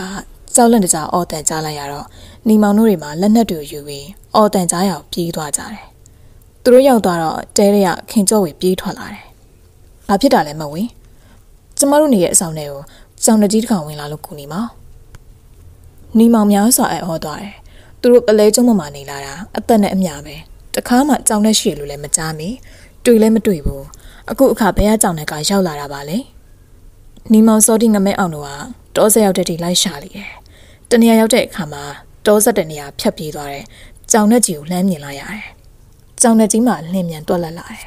။ဒီနေရာမှာမြင်လို့လိုက်သွားရင်နောက်တနေရာမှာတွေ့ရတယ်။ထိုနေရာကိုလိုက်သွားတော့လည်းနောက်တနေရာရောက်သွားလိမ့်ရဲ့။ညီမ ဒီကြောင်နဲ့ကရိုးရိုးကြောင်နဲ့ရောဟုတ်ရဲ့လား။မိစ္ဆာတွေဝင်ပူးနေတဲ့ကြောင်များဖြစ်မလား။ကြောင်နဲ့ဆိုတာအသိသိရှိရလို့ပြောတန်ကြတယ်။ဒီကြောင်နဲ့ကအဲ့ကြောင်များဖြစ်နေသလား။စောဒီနဲ့ငမဲအောင်တော့အမျိုးမျိုးထင်ကြီးပေးကြတယ်။မင်းတို့ထင်တယ်လို့မဟုတ်နိုင်ဘူး။တာမန်ကြောင်တကောင်ပဲ။ဒါပေမဲ့လူတယောက်ကစနစ်တကျလေ့ကျင့်ပေးထားတဲ့ကြောင်ဆိုတာသိကြတယ်။သုံးယောက်သားလူစုခွဲပြီးအုံတော်ထဲဝင်လိုက်ကြလေရဲ့။အုံတော်ထဲမှာမှောင်နေပြီမဲ့အပေါ်အလင်းရောက်အချို့ကြောင့်ဝူတဝါမြင်ရတယ်။ နီမောင်မျက်စိကိုမိတ်ပြီးနားဆင်ကြည့်လိုက်တော့သူနဲ့မလန့်မကန်အုံပင်တစ်ပင်တွေပေါ်မှာတနေရာတနေရာသွားနေအတန်ကိုကြားနေရတယ်။ဒါကြောင့်အတန်ကြားရဘက်ကိုလိုက်သွားလေရဲ့။တနေရာရောက်တော့တစ်ပင်ပေါ်ကလွှားကနေခုန်ချလာတဲ့အတန်ကိုကြားလိုက်ရတယ်။မျက်လုံးကိုဖွင့်ကြည့်လိုက်တယ်။သူကိုင်းဘွားနဲ့ခုန်ဆင်းလာတဲ့ကြောင်နဲ့ကြီးကိုမြင်လိုက်ရတာကြောင့်လက်ထက်ရတာနဲ့စီးခုတ်တဲ့အခါကြောင်နဲ့ကြီးကလေထဲမှာဂျုံပစ်ပြီးရှောင်ထွက်သွားလေတယ်။အမောင်ရိပ်များတဲ့နေရာကိုမျက်စိကိုကောင်းကောင်းအတုံးချလို့မရ နားကိုအစွမ်းကုန်ဆွင့်ထားပြီးအသားအာယုံကိုပဲအားကိုးနေရတယ်။နီမောင်လေးအကျင့်စွမ်းအားကောင်းသူမို့ဝင်လာတာနဲ့ဓာတ်ကိုအသုံးပြုပြီးခုတ်လေတယ်။သို့ပေမဲ့တစ်ချက်မှမခုံမီစောတီတို့ငမဲအောင်လို့ထွက်သွားတာဘက်ကလည်းဘာအတန်းမှမကြရ။အချိန်ကလည်းညနေပါအောင်ရောက်လာတယ်။နီမောင်ကြောင့်နဲ့ကြီးနောက်ကိုခြေရခင်းနဲ့ကွက်လက်နေရာကိုရောက်တော့တောနဲ့ထဲကအဝတ်ချုံတာလူတော့ရောက်ထွက်လာတယ်။အော်ဒီလိုနီမောင်ကရေရွတ်ရင် ရှောက်ဝင်သွားလေ။မင်းတို့ဘာလုပ်လဲ။ငါနာမည်ခုံပြီလား။ခေါင်းဆောင်ဖြစ်ပုံရတဲ့သူကပြန်ပြောပြတယ်။မိချောင်းကရေထဲမှာမနေပဲဘာလို့ကောင်းပေါ်တက်လာလဲ။လက်စားချိမလို့တလို့မင်းတို့ရေအောက်မှာတက်ခဲ့လူနှစ်ယောက်အတွက်မင်းအသက်ကိုပြန်ပေးရမယ်။ခုံပြီလားဆိုတာမိချောင်းပဲ။မိချောင်းဆိုတာရေထဲမှာပဲကျန်းကျင်နေတတ်တာပါ။မင်းတို့ဘယ်ကားရလဲ။ငါမဟူရကြောင်နဲ့ခါရပဲ။မင်းငါတို့ကောင်တီးရကိုတေရင်ကိုတူးတလို့ပဲ အမှန်တရားတော့ငါဘာလို့မှမကြောက်ဘူးမတရားမှန်သမျှကိုလည်းဘယ်တော့မှတူးထောက်အရှုံးမပေးဘူးအဲ့ဒါမြင်မြတ်မသွားနီမောင်စကားဆုံးတဲ့အခါမှာဂုံပီလာဆိုသူကတောထဲကိုပြေးဝင်သွားလေတယ်အတန်ကြာတော့စောတိနဲ့ငမအောင်တို့နဲ့ပြန်တွေ့ရတယ်နီမောင်မင်းဘက်မှာဘာထူးသေးလဲဒူးနှစ်ယောက်ကတော့ဟိုဘက်မှာသွေးပူလေးချင်းကလှုပ်ခဲ့ရသေးတယ်ငါလည်းဒီဘက်မှာတွေ့ရတယ်တခိုင်းနဲ့ဖြစ်ရမယ်ဒူသုံးယောက်တလောကရေအောက်မှာတက်လိုက်တဲ့လူနှစ်ယောက်တွေ့လို့ပြောတာဒီလိုဆိုရင်ဟို တလောကရေအောက်မှာတို့ရန်ရှာတဲ့သူတွေနဲ့အခုလူတွေကတကိုင်းနေပဲပေါ့နော်သိကြတာပေါ့ကွာမမျောလင့်မဲ့ရန်သူရောက်လာပြီဆိုတာတော့သိကြတယ်အကောင်းဆုံးကတော့နေထိုင်တဲ့နေရာမှာရောအလုပ်လုပ်တဲ့နေရာမှာရောတတိဝရိယထားရမယ်စကန်ပြန်ရောက်တော့အဘဦးဆိုင်တော့ဟာလူလေးမင်းတို့ဘာထူတာတွေ့ခဲ့လဲဒီမှာတော့မတင်ကားကြရတယ်အများကြီးတွေ့ရတယ်ဘလို့မတင်ကားကြရလဲအဘလူရိတ်လူကြီးတွေတွေ့ရတယ်မင်းတို့အခြေအနေရောဘာထူလဲ နီမောင်ကတောရဲအဖြစ်အပျက်တွေကိုပြောပြလိုက်တော့ဦးဆိုင်တော်ကခေါင်းညှိနေတယ်ထို့အချိန်မှာအုံတော်ရဲကကြောင်မက်ဖွယ်ရာကြောင်နဲ့မိတန်ကိုကြားလိုက်ရတယ်နောက်တနေ့မနက်ပိုင်းအချိန်မှာကိုဒီဘာတို့ဆက်လီပြန်ရောက်လာတယ်သူတို့ပြပြချက်အရမရဏရေးလက်ကြထဲမှာအန်ဒီယာတခုနဲ့တွေ့ကြုံနေရကြောင်းအခုလိုကြံ့ကြာနေရလို့ပြောတယ်မရဏရေးလက်ကြထဲမှာအန်ဒီယာနဲ့တွေ့ပြီးအခုလိုပြန်ထွက်လာနိုင်တာတော့အန်ဩစရာပဲသူတို့ကပလဲကျုံပြန်ရောက်လာတဲ့အခါမှာညီမောင်တို့စီမှာရှိတဲ့ပစ္စည်းတွေရော တခြားအလုပ်သမားတွေစီကပစ္စည်းတွေပါဝယ်ယူကြလေတယ်။သူတို့ကျုံမော့ပြန်ရောက်လာပြီးနောက်ပိုင်းမှာတော့တခြားအန်ဒီရဲ့ထပ်မတွေ့ရတော့ဘူး။နောက်တနေ့ဖိတ်ကိုပြန်ဖို့ပြင်ဆင်နေစဉ်မနက်ပိုင်းအချိန်ညီမောင်တိုင်းလေးကျင်ရနေအောင်ကိုတီပေါက်ရောက်လာတယ်။လက်ဆက်တော့ကိုညီမောင်ကတိုင်းသမားတယောက်ပဲ။ဒါကြောင့်တွေးစားအကဲခတ်မိတယ်လို့တော့ရှိတာ။ကျွန်တော်ဝါသနာအရာအောင်ကျမကြီးအတွက်ပါလေးကျင်နေရပါကိုနီမောင်စိတ်ဆွမ်းအားလေးကျင်မူလားနည်းနည်းပပလောက်တော့လေးကျင်မူပါတယ် ကိုနီမောင်လေးကျင်နေရအရှိတိုင်းပညာလားအနောက်တိုင်းပညာလားကျွန်တော်လေးလာတာမြမယူရကိုလုံးပညာဖြစ်တဲ့ဘန်ဒိုပညာကိုစိတ်ဝင်စားပါတယ်ဘန်ဒိုပညာမြမယူရစစ်စစ်ပဲလေကျွန်တော်လဲယူနေပြည်နယ်နဲ့ခွန်လွန်တောင်တန်းတွေပဲရောက်တော့တော့ရှောင်းလင်ဖုံးကြီးတွေနဲ့တိပတ်ဖုံးတော်ရွေစီမှာတိုင်းပညာတွေသင်ခဲ့ပူပါတယ်အခုတော့အလုတ်ထက်ရောက်နေရောအလေးအကျင့်တော်ပြတ်နေရကြပြီအခုကိုနီမောင်နဲ့အစင်တင်တော့သွေးပူလေးချိန်ကန်လေးပါလေပြန်လို့ရင်ကောင်းမလားလို့ ကိုနီမောင်ကျွန်တော်ပြောတာလက်ခံမယ်မလားနီမောင်ကကောင်းငိမ့်ပြလိုက်ပြီးတဲ့နောက်ကိုလက်ရှိအောင်လွှားကနေခုံဝင်သွားတယ်ကိုဒီပါကရှောင်းလင်ပညာရဲ့ဖြစ်တဲ့အခုံအပြန်အကန့်အကြောက်ပညာတွေကိုအသုံးပြုတယ်လို့နီမောင်ကမြမယူရဘန်တို့အရာအပူအသက်အထိုးအတွက်နဲ့အရှောက်အတင်းပညာတွေအသုံးပြုပြီးတံပြန်တိုက်နိုင်လေရာပွဲရသွေးပူလေးချိန်ကလုံနေရတယ်မတူတော့ပဲတဖြည်းဖြည်းကျန်းလာလေရောတယ်တနင်္လာနေ့ပါတိုက်ခိုက်ပေမဲ့အနိုင်အရှုံးအဖြစ်မပေါ်တာကြောင့်ပွဲသိမ်းလိုက်ကြတယ်။ နှစ်ယောက်စလုံးချွေးရီရွှဲနေနေရဲ့။ကိုတီပါနီမအောင်လွတ်ဆွဲနှုတ်ဆက်လာရင် congratulation ကိုနီမကျွန်တော်ရဲ့တိုက်ကွက်အတော်များများအသာလေးတုတ်ပြန်သွားနိုင်တယ်။ကိုနီမောင်တို့ရဲ့မြမယူရဘန်တို့ပညာကိုလေးစားပါတယ်။နောက်တစ်ချိန်ထပ်ဆုံသေးတာပေါ့။ထို့နောက်နေရာနေပြန်ထွက်သွားလေရဲ့။ထိုခါနီမောင်မှာအဘဦးဆိုင်တော်သွားအောင်သွားပြီးခြေပြစ်လက်ပြစ်ထိုင်ချလိုက်တယ်အတော်မောသွားလားကောင်လေမင်းကကိုကိုကိုပင်မအောင်လုပ်နေတာ哦 ဘာလို့မိလို့လဲအဖရဲ့အမြင့်ခုံပြီးတိုက်ခိုက်တဲ့လူကိုသူနဲ့အတူလိုက်ခုံနေပင်မယုံမဲပေါ့အမြင့်ကခုံဝင်လာတဲ့သူကိုအနားရောင်စောင့်ပြီးမှပြန်တိုက်ပူတိုင်းမှတာမှာပေါ့ဒီနောက်လားနောက်တကသူနဲ့တိုင်အခုလိုမဖြစ်ရအောင်သူ့ရဲ့အားနဲ့တိုက်ကွက်တွေကိုငါပြပေးမယ်ဟောဒီမှာကြီးလို့ပြောပြီးအပဦးဆိုင်တော်ကသေးပြင်းပေါ်မှာရေးချစ်ထားတဲ့တိုင်ကွက်တွေကိုဒုံနဲ့ထောက်ပြီးတကွက်ချင်းပြပေးလေရဲ့ဦးလာဘော်တို့ပြန်သွားပြီးနောက်တစ်ပတ်ကြာတော့ ဆက်လီတစင်ရောက်လာပြီးစာတဆောင်လောင်ပေးတယ်။မောင်နီမှာအခုရောက်နေကုံတက်ဖွဲ့ဟာတာမန်ကုန်တယ်ပွဲမဟုတ်တာကိုသိရပြီသူတို့ကမရဏရေလက်ကြတဝိုက်ကဒူးဆက်ကိုင်းသားတွေနဲ့အဆက်အသွယ်ရှိရပုံပဲဒီအကြောင်းတွေကိုကျုပ်တစုံတစသိသွားတာကိုရှိမိရနဲ့ကျုပ်တို့တာဖာနေရာမှာအခုအနေရီဝိုင်းနေပြီဖြစ်နိုင်ဖိတ်ကိုအမြင်လာခဲ့ပါကျုပ်တို့တာဖာမှာလည်းအကူဆရာလူဆိုလို့မောင်ရင်တို့ပဲရှိတာပါအခုဆိုရင်ကျုပ်တို့ရဲ့ပါဝင်ခြင်းမှာရှင်သူရဲ့စောင့်ကြည့်နေရမို့ မောင်ဒီမောင်ဖိတ်ကိုရရင်တနေရာမှာလှုပ်ဝက်နေပြီးမှကျုပ်စီလာပါစစရရတတိရှိပါစေတင်းရဲ့မိတ်ဆွေလှပေါ်စာရရခြင်းပလဲကျွအလုပ်ကိစ္စတွေကိုလက်စတပီရဲ့နောက်တိတ်တဆိတ်လိုက်လာခဲ့တယ်ဖိတ်ကိုရောက်တဲ့အခါမှာလန်ချတဲ့စီကိုငားပြီးမျိုးစုံဘက်ကတဲခုကန်မှာတွားရောက်တဲခုလေတယ်သူရရှိတဲ့အခန်းမှာဝရဏာနဲ့နေတဲ့ထောင်ကန်ဖြစ်လေတယ်အခန်းထဲရောက်ပြီးအချိန်ကြီးအားလုံးစစ်စစ်ကြီးတော့မသိင်္ဂါစရာမတွေ့ရ ပြတိမောက်တကားချက်ကိုဖွင့်လိုက်တယ်နီမောက်အခန်းထဲကပစ္စည်းတွေတင်ပြီးရဲ့နောက်အိတ်ချင်စိတ်မရှိရကြောင်းဝရဏာကိုထွက်လာတယ်သူကအမှောင်ရိပ်ကြတဲ့ဝရဏာထောက်ဆောင်မှာဖြစ်ပြီးခဲ့တဲ့အကြောင်းတွေကိုတခုချင်းတွေးတောနေမိတယ်အထူးသဖြင့်ကိုဒီပါတို့အဖွဲ့ကိုတိတ်ပြီးမသိင်ကတနေ့မဟုတ်တနေ့ဦးလာဘော်တို့တာပေါအန်ဒီရဲ့ပေးနိုင်မယ်လို့စိတ်ထဲမှာထင်နေတယ်ခုလိုအချိန်မျိုးမှာသူ့မိတ်ဆွေဥပန်ကောင်တတိယနေတယ်နည်းနည်းလိုအပ်တဲ့ကိစ္စမျိုးဖြေရှင်းရမှာဥပန်ကောင်လည်း စိတ်ဆက်သေးကြလာတယ်။သို့တော့ဥပန်ကောင်ကဘမှရှိမှမသိရကြောင်းလိုက်ရှာဖို့မလွယ်။နီမောင်ရက်ပြီးတယောက်တည်းအတွေးကောက်နေစင်မှာဝရဏအောက်ကခြေတံကြားလိုက်ရလို့ငုံကြည့်လိုက်တဲ့အခါလူတယောက်လျှောက်သွားတာကိုမတဲမကွဲလှမ်းမြင်လိုက်ရတယ်။သူအတန်ကြာဝရဏမှာရက်ပြီးအတွေးကောက်နေစဉ်အပြစ်မှအေးလာတော့မှအခန်းရှိအောင်ပြန်ရောက်လာတယ်။သူအခန်းထဲပြန်ရောက်တော့နေရတစ်ချက်သာချားတဲ့အခြားအခန်းထဲကမီးရောင်အချို့နဲ့တိုးညင်းစွာလှုပ်ရှားနေတဲ့အတန်အချို့ခယူးပြူမိတယ်။ မိမိလိုပဲတဲခုနေသူဖြစ်မှာပဲလို့စိတ်ထဲမှာတွေးလိုက်မိတယ်။အခုအချိန်မှာမြန်မာနိုင်ငံလွတ်လပ်ရပြီးကာစားဖြစ်တာကြောင့်အုပ်ချုပ်မှုကလည်းထိထိရောက်ရောက်မလုပ်နိုင်သေးပြီ။နီမောက်မှာဥပဒေလက်ကျဲကာလာဖြစ်တဲ့အခြေအနေကိုတွေးမိပြီးတပြင်းတစ်ချက်ချလိုက်ပြီးနောက်ကတင်ပေါ်လှဲချလိုက်တယ်။ပင်မလာမှုကြောင့်ခဏချင်းမှာပဲအိပ်ပျော်သွားလိမ့်တယ်။ခဏကြာတော့ထူးထူးခြားဆိုသလိုတင်းပြက်တဲ့ရနက်တစ်မျိုးဝင်လာတယ်အိတ်ထဲကလက်ကိုက်ပေါ်အောင်ထုတ်ပြီးနှာခေါင်းနဲ့ပါးစပ်ကိုပိတ်လိုက်တယ်။ ထပ်ပြီးနားဆင်ကြည့်လိုက်တော့တစုံတယောက်ကသူ့အခန်းတကဖွင့်နေမှန်းသိရတော့ဆောင်းဟန်မပြတ်ပုံထားလိုက်ပြီးကတင်ပေါ်ကနေအတန်မကြောင်လှိမ့်ဆင်လိုက်တယ်။မရှိမနှောင်းပါပဲ။အရေးမဲတစ်ခုကအခန်းထဲကိုဝင်လာတယ်။ဝင်လာတဲ့အရေးမဲကကတင်သားရောက်ချင်းကပ်လာပြီးနောက်လက်ထဲမှာကင်တာအရာဝတ္ထုနဲ့နီမောင်ပုံထားတဲ့ဆောင်းမုံထိုးဆိုင်ချနေတယ်။နီမောင်မင်းခလုတ်ကိုဖွင့်လိုက်တဲ့အခါမှာအခန်းထဲမှာအလင်းရောင်ရောက်လာတယ်ထို့အခါလူတယောက်ကစောင်းပုံ ဓာတ်နဲ့အချက်ပေါင်းများစွာထိုးဆိုင်နေအောင်တွေ့ရတယ်။ထို့အချိန်မှာပဲလျှက်စစ်မီကရုတ်တရက်ပြတ်တောက်သွားပြီးအခန်းထဲမှာမှောင်ကျသွားလေတယ်။ထို့အခွင့်အရေးကိုအသုံးချပြီးအနက်ရောင်လူသက်သမားသူ့စီကိုပြေးဝင်လာတယ်။ညီမောင်ကတော့အလေးချင်းရှိတာသူမို့အလင်းရောင်ရှိသည်ဖြစ်စေမရှိသည်ဖြစ်စေအရေးမကြီးတော့ပြီ။ဓာတ်နဲ့ပြေးထိုးတဲ့အခါမှာကိုငဲ့ပေးလိုက်ရဓာတ်ကနောက်ကနေအောင်စိုက်ဝင်သွားတယ်။ဓာတ်ဥလွတ်သွားတာနဲ့အရှိန်နဲ့တိုးဝင်လာတဲ့ရန်သူရဲ့ဥကောင်တတောင်နဲ့စောင့်ချလိုက်တယ်။တစ်ချက်သာညှဉ်းညူနိုင်ပြီး ကျဲမြင့်မော်ပုံကျသွားလေတယ်။ပွဲပြီးတော့မှမိမိအိတ်ထက်ကဖျောင်းနိုင်တဲ့မိချစ်ကိုထုတ်ပြီးမိထွန်းလိုက်တော့အခန်းထဲအချိန်ကိုကောင်းကောင်းမြင်ရတယ်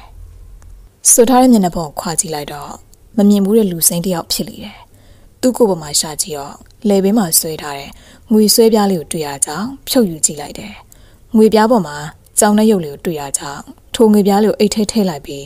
အောက်ထပ်ရှိမန်နေဂျာအခန်းရှိအောင်ဆင်းလာတယ်။ မိပြက်နေရကြောင့်အောက်ထပ်တစ်ခုလုံးလဲမှောင်နေလေရဲ့။တဆောင်လုံးလဲမှောင်နေပါလား။ဘာကိစ္စရှိလို့လဲဆရာ။မိပြက်နေလို့လားပြောတာ။ဖြူးမြပြက်သလားကျွန်တော်သွားကြည့်ပေးပါမယ်။ဆရာဒီမှာခဏလေးဆောင်ပေးပါ။မန်နေဂျာလည်းနှိပ်မိတက်လက်နဲ့အပြင်ထွက်သွားလေရဲ့။အတော်ကြာတော့မှမီးပြန်လင်းလာတယ်။ခမရတို့တဲခုကန်တကားတွေတိတ်မကောင်းထင်တယ်။ဘာဘာဖြစ်လို့လဲဆရာ။စောစောကကျုပ်အခန်းထဲတကိုးတယောက်ဝင်လာလို့တကိုးဖက်တာစူညံ့နေရပဲ ခမမကြားလိုက်ဘူးလားကျွန်တော်အိမ်မောကြသွားလို့မကြားမိလိုက်ဘူးဆရာအခုတကိုးကဘာမှလဲကျုပ်အခန်းထဲမှာအဲ့တော့ပလိတ်ကိုအကြောင်းကြပြီတခါရဲခေါ်အလိုက်ကောင်းမယ်ဒီအတွက်တော့အရေးမကြီးလာပါဘူးဆရာအဆင်ပြေအောင်စီစဉ်ပေးပါမယ်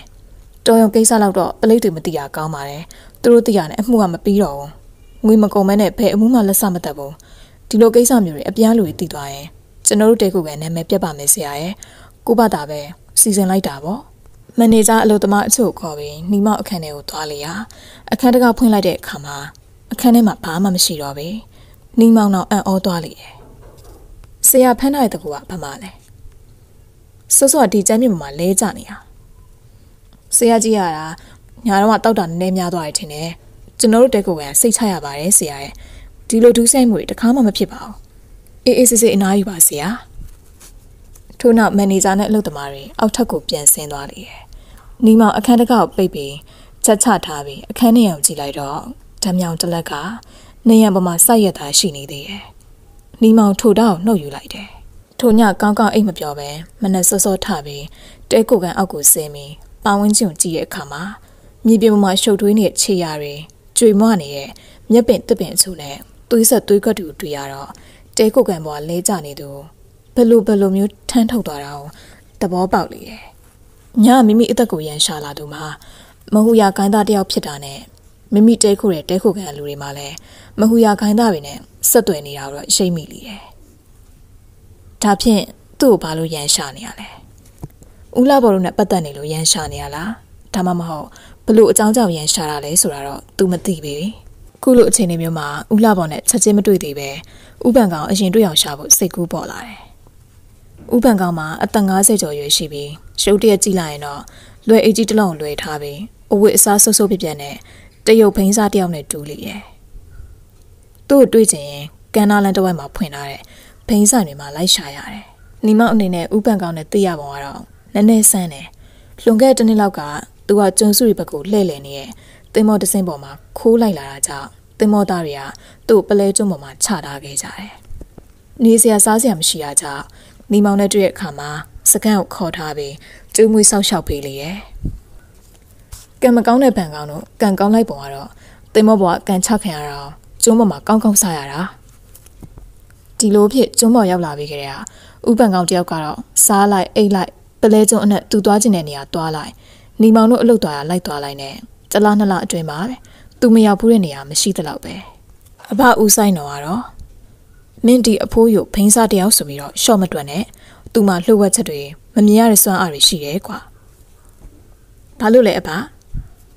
လူတယောက်လုံးမှာဖုံးကွယ်လို့မရတဲ့လိန်ညာလို့မရတဲ့နေရာသူ့ရဲ့မျက်လုံးပဲကိုခန္ဓာဘလို့ပဲဟန်ဆောင်လို့ရပါမယ်မျက်လုံးကတော့မရဘူးသူ့ရဲ့အပြင်ပန်းကိုချင်းစုပ်ပြက်နေလို့တစ်စက်ကလေးမှအထင်ကြီးစရာမရှိပါမယ်သူ့မျက်လုံးရဲ့စွမ်းအားတာမန်လူထက်ပိုကောင်းတယ်သူနဲ့နေရတဲ့အချိန်မှာသူ့ဆရာပညာတွေကိုရှားနိုင်အောင်ယူထားကောင်းလी ဒါကြောင့်နေမောင်လဲကျိုးမမဥပန်ကောင်ရှိနေချိန်မှာလူလီသေးမရှိအောင်ပြုစုလေရဲ့ဥပန်ကောင်ကလည်းနီမောက်တဘောကိုသိရကြောင်းခင်မင်လေရဲ့တခါတခါစကားဆက်မိတာကြောင့်ဥပန်ကောင်ပြပြတဲ့ပလဲနဲ့ပတ်သက်တဲ့ဗဟုသုတတွေကတော့များစွာအသုံးဝင်လာတယ်ထိုနေ့ကအပူရှင်ပြင်းတာကြောင့်တောက်ရည်အတွက်မိုးရေလောင်တာရေရင်းရေကန်တွေခန်းချောက်ကုန်တာကြောင့်ပလဲကျွန်းမှာနေသူတွေမှာ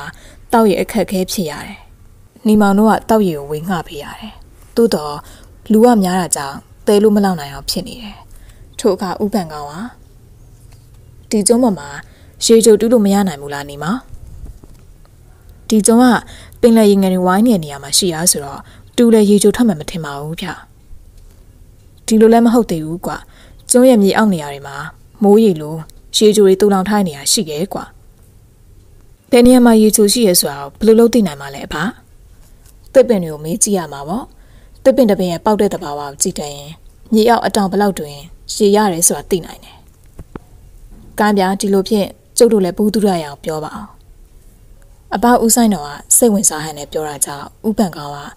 ရေရရှိအောင်ရှာပုံပြောပြလေတယ်။တစ်ပင်ဆိုတာအမြင့်သွားတဲ့ဘက်ကိုအကိုင်အခက်ပါတယ်။အမြင့်သွားတဲ့ဘက်မှာရေရှိတယ်။ဒါကြောင့်အမြင့်ဘယ်ကိုသွားရဲဆိုတာအကိုင်အခက်ကိုကြည့်ရင်ရတယ်။ရေရနိုင်မှုတစ်ပင်လေးမျိုးလည်းခွဲခြားသိရတယ် တစ်ပင်ကြီးလေးမျိုးဆိုတာတစ်အနှစ်ကိုအကာရံတဲ့တစ်ပင်နှစ်အကာကိုအနှစ်ရံတဲ့တစ်ပင်သုံးအနှစ်ကိုအနှစ်ရံတဲ့တစ်ပင်လေးအကာကိုအကာရံတဲ့တစ်ပင်ဆိုပြီးလေးမျိုးလေးစားရှိတယ်တစ်ပင်မယ်ဒီလေးမျိုးလေးစားရပဲရှိရတယ်တစ်ပင်တစ်ပင်ကမြေပြားစိတ်တောင်အကွာလောက်မှာအကိုင်အခက်တွေကတွန်းကောက်ထွက်သွားတယ်ဆိုရင်အဲ့ဒီကိုင်ခတ်တဲ့ဘက်မှာရေမရှိဘူးကြောက်ချက်အုပ်ချက်တွေပဲရှိတယ်တရွက်ကိုခူးပြီးဖြတ်ကြည့်လိုက်လို့ရေချက်ချင်းစိတ်ထွက်လာရင်မြေအောက်သိမ့်မတက်တဲ့နေရာမှာ ရှည်များများရနိုင်တာပေါ့ဒီကျုံးမမှာမျက်ပေါက်တဲ့နေရာရှိလားရှိရဲ့ဗျဟိုဘက်တဲကုန်းတဲ့ဘက်မှာမျက်ခင်းတွေရှိရဲ့အုံးပင်ရောရှိရဲ့ဒီလိုဆိုရင်အုံးလက်အနေထားပင်စီအနေထားချင်းမြေအောက်ဖလောက်အနက်မှာရေချိုရှိနိုင်တယ်ဆိုတာသိနိုင်တယ်အရွက်ကျင်သိနိုင်တယ်ရေငံတက်နဲ့အသက်ရှင်တဲ့အုံးပင်အရွက်ကပြနေပြီရှေကျုံနဲ့အသက်ရှင်တဲ့အရွက်ကစိမ့်နေတာပေါ့ထို့ချိန်ကမြက်ခင်းတွေပေါက်တဲ့သဲကုန်းတဲ့တနေရာရှိအုံးပင်တမင်နာကို အတောင်20တူးတဲ့အခါကြည်လင်တဲ့တောက်ရည်ကိုရတာကြောင့်အားလုံးကဥပန်ကောင်ကျေးဇူးတင်ကြတယ်ဥပန်ကောင်ကသူပြန်ကနေမှအကြောင်းကိစ္စရှိလာရင်သူ့လာတွေ့ဖို့မှကြားပြီးပြန်သွားလေတော့တယ်။ဒါကြောင့်နေမောင်တို့ကသူ့ရဲ့ပစ္စည်းကိုတင်ပြီးရနောက်ဥပန်ကောင်ကိုရှာဖို့မြို့ထဲကိုထွက်လာတယ်။ဥပန်ကောင်တွေ့နိုင်တဲ့နေရာတွေကကမ်းနားလမ်းတစ်လျှောက်မှာဖွင့်လှစ်ထားတဲ့ဘိန်းကန်တဲ့အရက်ဆန်တွေဖြစ်လေတယ်။တမန်နှလုံးလိုက်ရှာပေမဲ့အစအနာမတွေ့ရကြ။ထမင်းစားကြရောက်တဲ့အခါမှာ ထမင်းရောက်တဲ့ဆိုင်ရှိအောင်လာခဲ့တယ်။ကန်ဆက်နဲ့မနေမဝေးဆိုင်ဒီဇိုင်နာရောက်တဲ့အခါမှာအထက်ကစူညံတန်တွေကြားတာကြောင့်ရှက်ကြည့်နေတယ်။ခဏကြာတော့ဘိန်းမှုနေပုံရတဲ့ဥပန်ကောင်အလုသမားနှစ်ယောက်ကအပြင်ကိုဆွဲထုတ်လာတယ်။နီမောင်သဘောကျစွာပြုံးလိုက်ပြီးရဲ့နောက်ထိုနေရာကိုရှောက်သွားလေတယ်။သူ့ကိုဘာဖြစ်လို့ဆိုင်ထဲကဆွဲထုတ်လာလဲ။ဒီအဖိုးကြီးဗျာမနက်ကလေးကဆိုင်ထဲရောက်နေပြီးဘာမှမဆလဲမဟုတ်ဘူး။သူ့မေးတော့လေလူတယောက်ကိုစောင့်နေရလို့ပြောတာ။အပြန်ထွက်ဆောင်ဆိုလဲပြောလို့မရဘူးလေ။ ဒါကြောင့်ဆွဲထုတ်လာတာ။သူစောင့်နေတဲ့သူကငါပဲ။သူ့ထားခဲ့တော့ထို့ကအလုသမားနှစ်ယောက်ကနီမောင်မကြည့်မနဲ့နဲ့ကြည့်လိုက်ကြတယ်။မင်းတို့ဆိုင်ရာပတ်စံပေးရင်ဘယ်သူမှစဝင်စားလို့ရတယ်မလားကျိုးတို့ဆိုင်ရာအဆင့်တန်းရှိရသူပဲလက်ခံတာဒီလိုလူမျိုးဆိုဆိုင်တဲ့အဝင်ခံစက်တီတုံးတယ်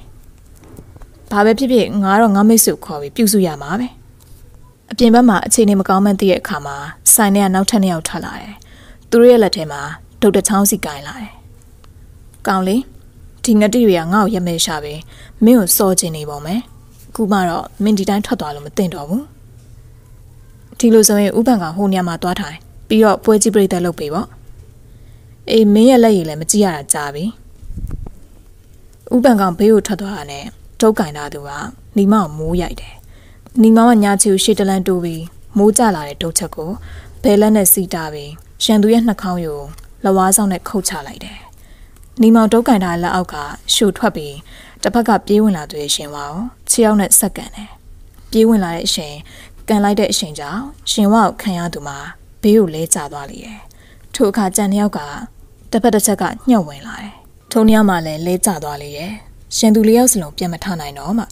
ပါဝင်းချီရလူတွေရောက်လာတယ်။ထို့အချိန်မှာပဲထမင်းဆန်တွေကရုပ်ဖြတ်တာလူတယောက်ထွက်သွားတာတော့တတိမပြုံမိလိုက်။ လာကြည့်နေသူတွေကတော့စေကန်တဝိုက်မှာအုပ်စုဖွဲ့အမြဲပူကြနေလူမိုက်တွေကိုအခုလိုစုံမပေးမဲ့သူပေါ်လာတော့ကောင်းလီစွာလို့ပြောဆိုနေကြတယ်။ထို့အချိန်မှာပလိတ်တွေရောက်လာတာကြောင့်နီမောင်နဲ့ဥပန်ကောင်တို့လည်းထိုင်နေရနေခတ်တုတ်တုတ်ထွက်ခဲ့ကြလေတော့တယ်။မနှက်စာကိုတခြားဆိုင်မှာပြောင်းစားရင်စကားပြောကြတယ်။မင်းကစီကိုမဖြစ်မနေရောက်မယ်ဆိုတာသိပြီးသားလေ။ဒါကြောင့်ဒီစိတ်ကန်းတစ်ဝိုက်မှာပြဿနာမျိုးစုံရှာပြီးလာဆောင်နေတာ။ဒီအတိုင်းလာဆောင်လဲရတာနဲ့ ဘာလို့ပြဿနာလုပ်ပြီးလာဆောင်ရတာလဲဥပန်ကောင်ရဲ့။ငါဘိန်းကန်းထဲမှာငငိမ့်လေးထိုင်ပြီးဘိန်းမိတ်နေရင်မင်းကဘလို့မှလွယ်လွယ်လို့ရှာတွေ့မှာမဟုတ်ဘူး။အခုလိုပြဿနာနဲ့စူးစူးညံဖြစ်နေတော့အလွယ်တကူရှာတွေ့တာပေါ့ကွာဥပန်ကောင်ရဲ့အယူအဆတွေကရုပ်တရက်ချင်းမကောင်းဘူးလို့လို့နဲ့ကောင်းတာတွေလည်းရှိတယ်ကဲထားပါတော့အခုကျွန်တော်ဘိတ်ကိုရောက်နေအောင်ဥပန်ကောင်ကြိုးသိနေရပေါ့သိရဆိုပါတော့မင်းအခုဘိတ်ကိုဘာအကြောင်းနဲ့လာလဲ ငါ့ကိုတွေးဖို့တသက်တော့မဟုတ်ဘူးထင်တယ်ဟုတ်တယ်မိတ်ဆွေတယောက်ကအရေးတကြီးကိစ္စရှိလို့မှားနေလာတာမင်းတို့မှာတာရေတနာကုံတဲ့ဥလှပေါ်မဟုတ်လားဥပန်ကောင်ကဘလို့သိနေရလဲဦးလာဘော်နဲ့ပတ်သက်ပြီးတော့မင်းမသိသေးတာတော့ငါသိထားတာအများကြီးရှိတယ်ဦးလာဘော်အခုလိုချမ်းသာလာတာတူယူသားရောမဟုတ်ဘူးအရင်တော့ကဒူးဆက်ကန်တစ်ခုနဲ့ပတ်သက်ဖို့တာအခုတော့အဲ့လောကကိုစွန့်ခွာပြီးလူကောင်းလို့ဖို့စူးစမ်းနေပုံပဲဒါပေမဲ့အရင်ကသူနဲ့ဆက်သွယ်မှုတဲ့လူတွေက သိကျင်နေတာမဟုတ်ဘူးထို့အချိန်မှာစပွဲတို့တယောက်ဝင်လာတာကြောင့်စကားပြတ်သွားလေတယ်ဥပန်ကောင်ကကန္နာဘက်ကရုပ်ရှင်ရောမှာအခုတင်နေတဲ့စကားနိုင်ငံခြားဇလန်တပုံမှီညမ်းမိရိုက်ထားတာဒါပေမဲ့စညွန်းခွဲတာရောတရုပ်ဆောင်တဲ့မင်းသားမင်းသမီးရောတိတ်ညံ့တာပဲဟိုဘက်လန်ထိတ်ကယုံမှာပြနေတဲ့ယေတနာနက်မယ်တိုက်သမက်ဆက်ကပိုကောင်းတာမင်းသားမင်းသမီးတွေထက်ကဝေအဖြစ်တရုပ်ဆောင်တဲ့ဒေါ်မြလေးနဲ့ဖုတ်ဝင်တဲ့တရေဖြစ်တရုပ်ဆောင်တဲ့တာတေးရပိုကောင်းတယ် ထမင်းစားပြီးအဲ့တယောက်သွားရအောင်ထမင်းဝလက်စတက်လိုက်ပြီးရင်တော့နှစ်ယောက်သားဆိုင်ထဲကထွက်ခဲ့ကြတယ်ဥပန်ကောင်ကလူသူရှင်းတဲ့တရားစိတ်ဟောင်းရှိကုတ်ကိုပင်ရောက်ကိုခေါ်သွားလိမ့်တယ်ဒီနေရာမျိုးတော့စိတ်ချရတယ်မင်းဘာသိချင်တာလဲပြောကျွန်တော်ကမဟူရကိုင်းနဲ့ပတ်သက်ပြီးသိချင်တာတွေရှိလို့ငါအထင်ပြောရရင်တော့မဟူရကိုင်းသားတွေကမင်းကိုဥလာပေါ်နဲ့ပတ်သက်တာသိမကြိုက်ဘူးထင်တယ်ဘာလို့လဲ ဒါလည်းအကြောင်းရှိလို့ဖြစ်မှာပေါ့မဟူရခိုင်းရလွတ်ထားတဲ့ရေနကာပင့်ကူနဲ့ကင်းမီကောက်ဂုံဘီလားဆိုလက်ရွေးစင်တွေရှိတယ်တစ်ချိန်မဟုတ်တစ်ချိန်တော့မင်းစီကိုရောက်လာလိမ့်မယ်ဒါထက်မဟူရကြောင်လဲဆိုတာဘာတူလဲဥပန်ကမင်းအခုတလောကိုဘာသာအေးအေးဆေးဆေးပလဲမငုံပဲဘာတွေလျှောက်လို့ရလဲမဟူရကန်းသားနဲ့ပတ်သက်မရအန်ဒီရဲ့ဘလောက်ကြီးရဲဆိုတာမင်းသိရလားတကယ်ပြောရရင်ကျွန်တော်စိတ်လည်းမဝင်စားပါဘူးအခုကဥလာပေါ်နဲ့ပတ်သက်မိလို့ ကျွန်တော်မလွဲတာမကင်းတာပါနေတာဒီမှာငါပြောမယ်တကယ်တော့ဥလာပေါ်ဆိုရသူကလူကောင်းတယောက်မဟုတ်ဘူးသူ့စီမှာမဟူရကန်းနဲ့ပတ်သက်တဲ့ပစ္စည်းတစ်ခုရှိတယ်အဲ့ဒီပစ္စည်းကိုမဟူရခိုင်းသားရလည်းလိုချင်နေတာကြောက်စိမ့်နဲ့တုံးမယ်မဟူရခိုင်းသားတွေကအဲ့ဒီကြောက်စိမ့်နဲ့တုံးမရရအောင်ပြန်ယူလိုက်မယ်ဒါကြောင့်ဒီကြောက်စိမ့်တုံးနဲ့ပတ်သက်တဲ့သူတွေလည်းအန်ဒီရဲ့များလိမ့်မယ်မဟူရခိုင်းရဲ့လက်တံအတော်များတယ်လာငါနေရနေရသွားရအောင်မင်းကအန်ဒီရဲ့ကိုတိုးမဲ့လူဆိုတော့ လိုရမယ်ရပစ္စည်းတစ်ခုလောက်တော့ပေးထားအောင်ပါဥပန်ကောင်နေရဲ့နေရာမှာတောင်ကုန်းမှာရှိရဲ့တိုင်ဟောင်းပြက်ကြီးဖြစ်လေတယ်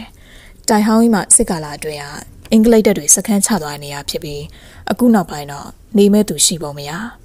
အပြင်ဘက်ကကျင်ဟောင်းနေနေပြီမဲ့အတွင်းပိုင်းကတော့ပရီဘောကအချို့ရှိနေသေးတယ်ဂျပန်ခေတ်ကဂျပန်တွေငွေဆက်ကိုပြုလုပ်ခဲ့တဲ့မြေရောက်ခန်းလေးရှိတယ်ဥပန်ကောင်ကထိုမြေအောက်ခန်းထဲမှာနေလေတယ်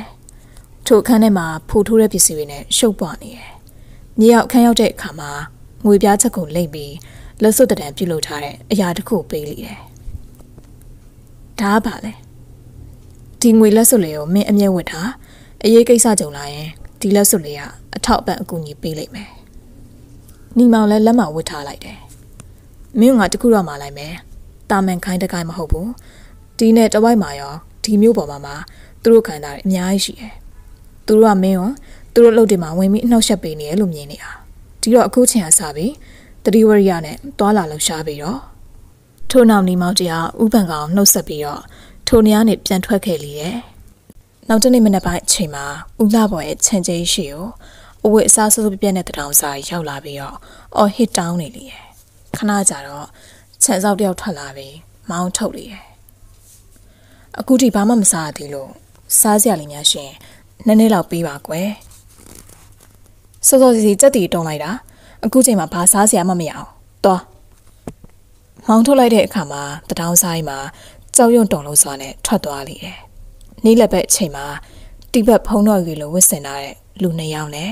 အသက်ကြီးကြီးလူကြီးတယောက်တို့ရှောက်လာပြီးဦးလာဘော်နဲ့တွေ့ဖို့ခွင့်တောင်းတာကြောင့်ခြံစောက်အကြောင်းကြားလေရဲ့။ဦးလာဘော်လက်ခံတာကြောင့်တကားလာဖွင့်ပေးတယ်။အိတ်ကန်းရောက်တဲ့အခါမှာဦးလာဘော်အိတ်ခံလေရဲ့။ ကျွန်တော်နာမည်ဦးလာဘော်ပါ။ဘလို့ကိစ္စမျိုးရှိလို့ဘယ်အရက်ကလာတာပါလဲ။တွေးရတာဝမ်းသာပါတယ်။ကျုပ်တို့ကတိပတ်တောင်တန်းနေဘက်ကလာတာပါ။ဦးလာဘော်ကရေတနာကုန်တဲ့တယောက်မဟုတ်ပါလား။ကျုပ်တို့ကပစ္စည်းတစ်ခုဝယ်ခြင်းလို့ပါ။ဘာပစ္စည်းပါလဲ။ဦးလာဘော်စီမှာကြောက်စိမ့်တဲ့တလုံးရှိရဲလို့သတင်းကြရပါတယ်။အဲ့ဒီပစ္စည်းဝယ်ခြင်းလို့ပါ။ခမရတို့နေတဲ့နေရာအတော်ဝေးရပဲ။ကျွန်တော်စီမှာအဲ့ဒီပစ္စည်းရှိတာ ဘယ်လိုများသတင်းရလာပါလဲ။ဒီလိုပါ။ဦးလာဘော်စီမှာရှိတဲ့ကြောက်စိမ့်တဲ့ကကျုပ်တို့ဘာသာရေးရအထွတ်အမြတ်နေရာမှာထားတဲ့ပစ္စည်းပါမတမသူတယောက်ကခိုးယူသွားတာဒါကြောင့်စုံစမ်းရနဲ့ဦးလာဘော်စီမှာရှိရဲလို့တင်ကြရတယ်ကျုပ်တို့လိုက်လာတာပါခမရတို့ကျွန်တော်တောင်းပန်ပါရစေအဲ့ဒီကြောက်စိမ့်နဲ့ကိုဘာသာရေးကိစ္စတခုမှအသုံးပြုရည်ရွယ်ထားတာကြောင့်ကျွန်တော်မယောင်းမရစေနဲ့လောကမှာရွှေငွေကြောက်တံပဒံများတွေဟာ နေရအလိုက်ကာလာဒေတာအလိုက်တန်မိုးရှိကြတယ်ကြောက်စိမ့်တုံးပဒံများတုံးဟာတဘာဝအတိုင်းတိုးထဲမှာရှင်ဘာမှတန်မိုးမရှိဘူးတာမန်ကြောက်တော့မယ်ဒီကြောက်တုံးရဲ့တန်ဖိုးအည်သွေးကိုတည့်ရသူလက်ထက်ရအောင်မှပြုပြင်မွမ်းမံပြီးတော့တန်ဖိုးသတ်မှတ်ကြတာဒီကြောက်စိမ့်တဲ့ရဲ့မူလပိုင်ရှင်ကကျုပ်တို့ပဲကျုပ်တို့ကဘာသာရေးကိုအလေးမြတ်ထားရလူတွေဆိုတော့ဘာသာရေးနဲ့ပတ်သက်တဲ့ဒီကြောက်စိမ့်တဲ့ကိုဘလို့အကြောင်းနဲ့ပဲဖြစ်ဖြစ်ပြန်လို့ချင်ပါတယ်ဝန်းနေပါတယ်မယောင်းနိုင်ပါဘူး စဉ်းစားပါဦးလာပေါ့ဦးလာပေါ့အနေနဲ့ဘလို့ပဲလုံချောင်တင်တာကျုပ်တို့အစွမ်းစားနဲ့ယူသွားနိုင်တယ်ဒါပေမဲ့ကျုပ်တို့ကမတရားအနေနဲ့ယူရမှာအလိုမရှိဘူးအသိယူလာတဲ့အိတ်တလုံးဦးလာပေါ်ရှိစပွဲပေါ်တင်ပေးလိုက်တယ်ဒီအိတ်ထဲမှာရွှေရင်းကားတွေရှိတယ်ကြောက်စိမ့်နဲ့အတွက်ပေးတာတကယ်လို့နေသေးရဲ့လို့ထင်ထပ်ပြီးအောင်မယ်တခုတော့မှရစီဒီကြောက်စိမ့်နဲ့ကိုဖျောက်ဖျက်ဖို့ဖျက်ဆီးဖို့မကြိုးစားနဲ့အဲ့လိုလောက်တာနဲ့ဦးလာပေါ်ရဲ့အသက်အန္တရာယ်ကြားရောက်လာလိမ့်မယ် ထို့နောက်ဦးလာပေါ်နှုတ်ဆက်ပြီးတော့စပွဲပေါ်တင်ထားတဲ့ရွှေရင်းကထည့်ထားတဲ့ဆွဲထုတ်ကြီးကိုဒီအတိုင်းထားပြီးပြန်သွားကြတယ်။ဦးလာပေါ်မှာအတန်ကြာတဲ့အထိနေရမထနိုင်သေးပဲငိုင်းနေရဲ့။ထိုချိန်မှာအခန်းထဲခင်ကြောဝီထွက်လာပြီ။ဖေဖေစောစောလာတဲ့လူတွေကဘယ်သူတွေလဲ။သူတို့ကြီးကတမျိုးပဲနော်။ဟုတ်တယ်သမီးတီးဘက်တောင်တဲ့နေရာလာတာလို့ပြောတယ်။ဟင်ဟိုအဝေးရပေါ့ဒီကိုဘာလာလောက်တာလဲ။ကြောက်စိမ့်တဲ့ကိစ္စပေါ့ကွယ်။ ဖေဖေကိုတမီတခုတော့ပြောချင်တယ်အဲ့ဒီပစ္စည်းရောက်လာပြီးကြတာတမီတို့သားဖာလဲအေးအေးဆေးဆေးမနေရတော့ဖေဖေတခုခုတော့လှုပ်တင်တယ်ဖေဖေမောင်မီမောင်ကိုစာရေးမှထားတယ်သူရောက်လာရင်တော့တခုခုလှုပ်ဖို့စိတ်ကူးထားပါတယ်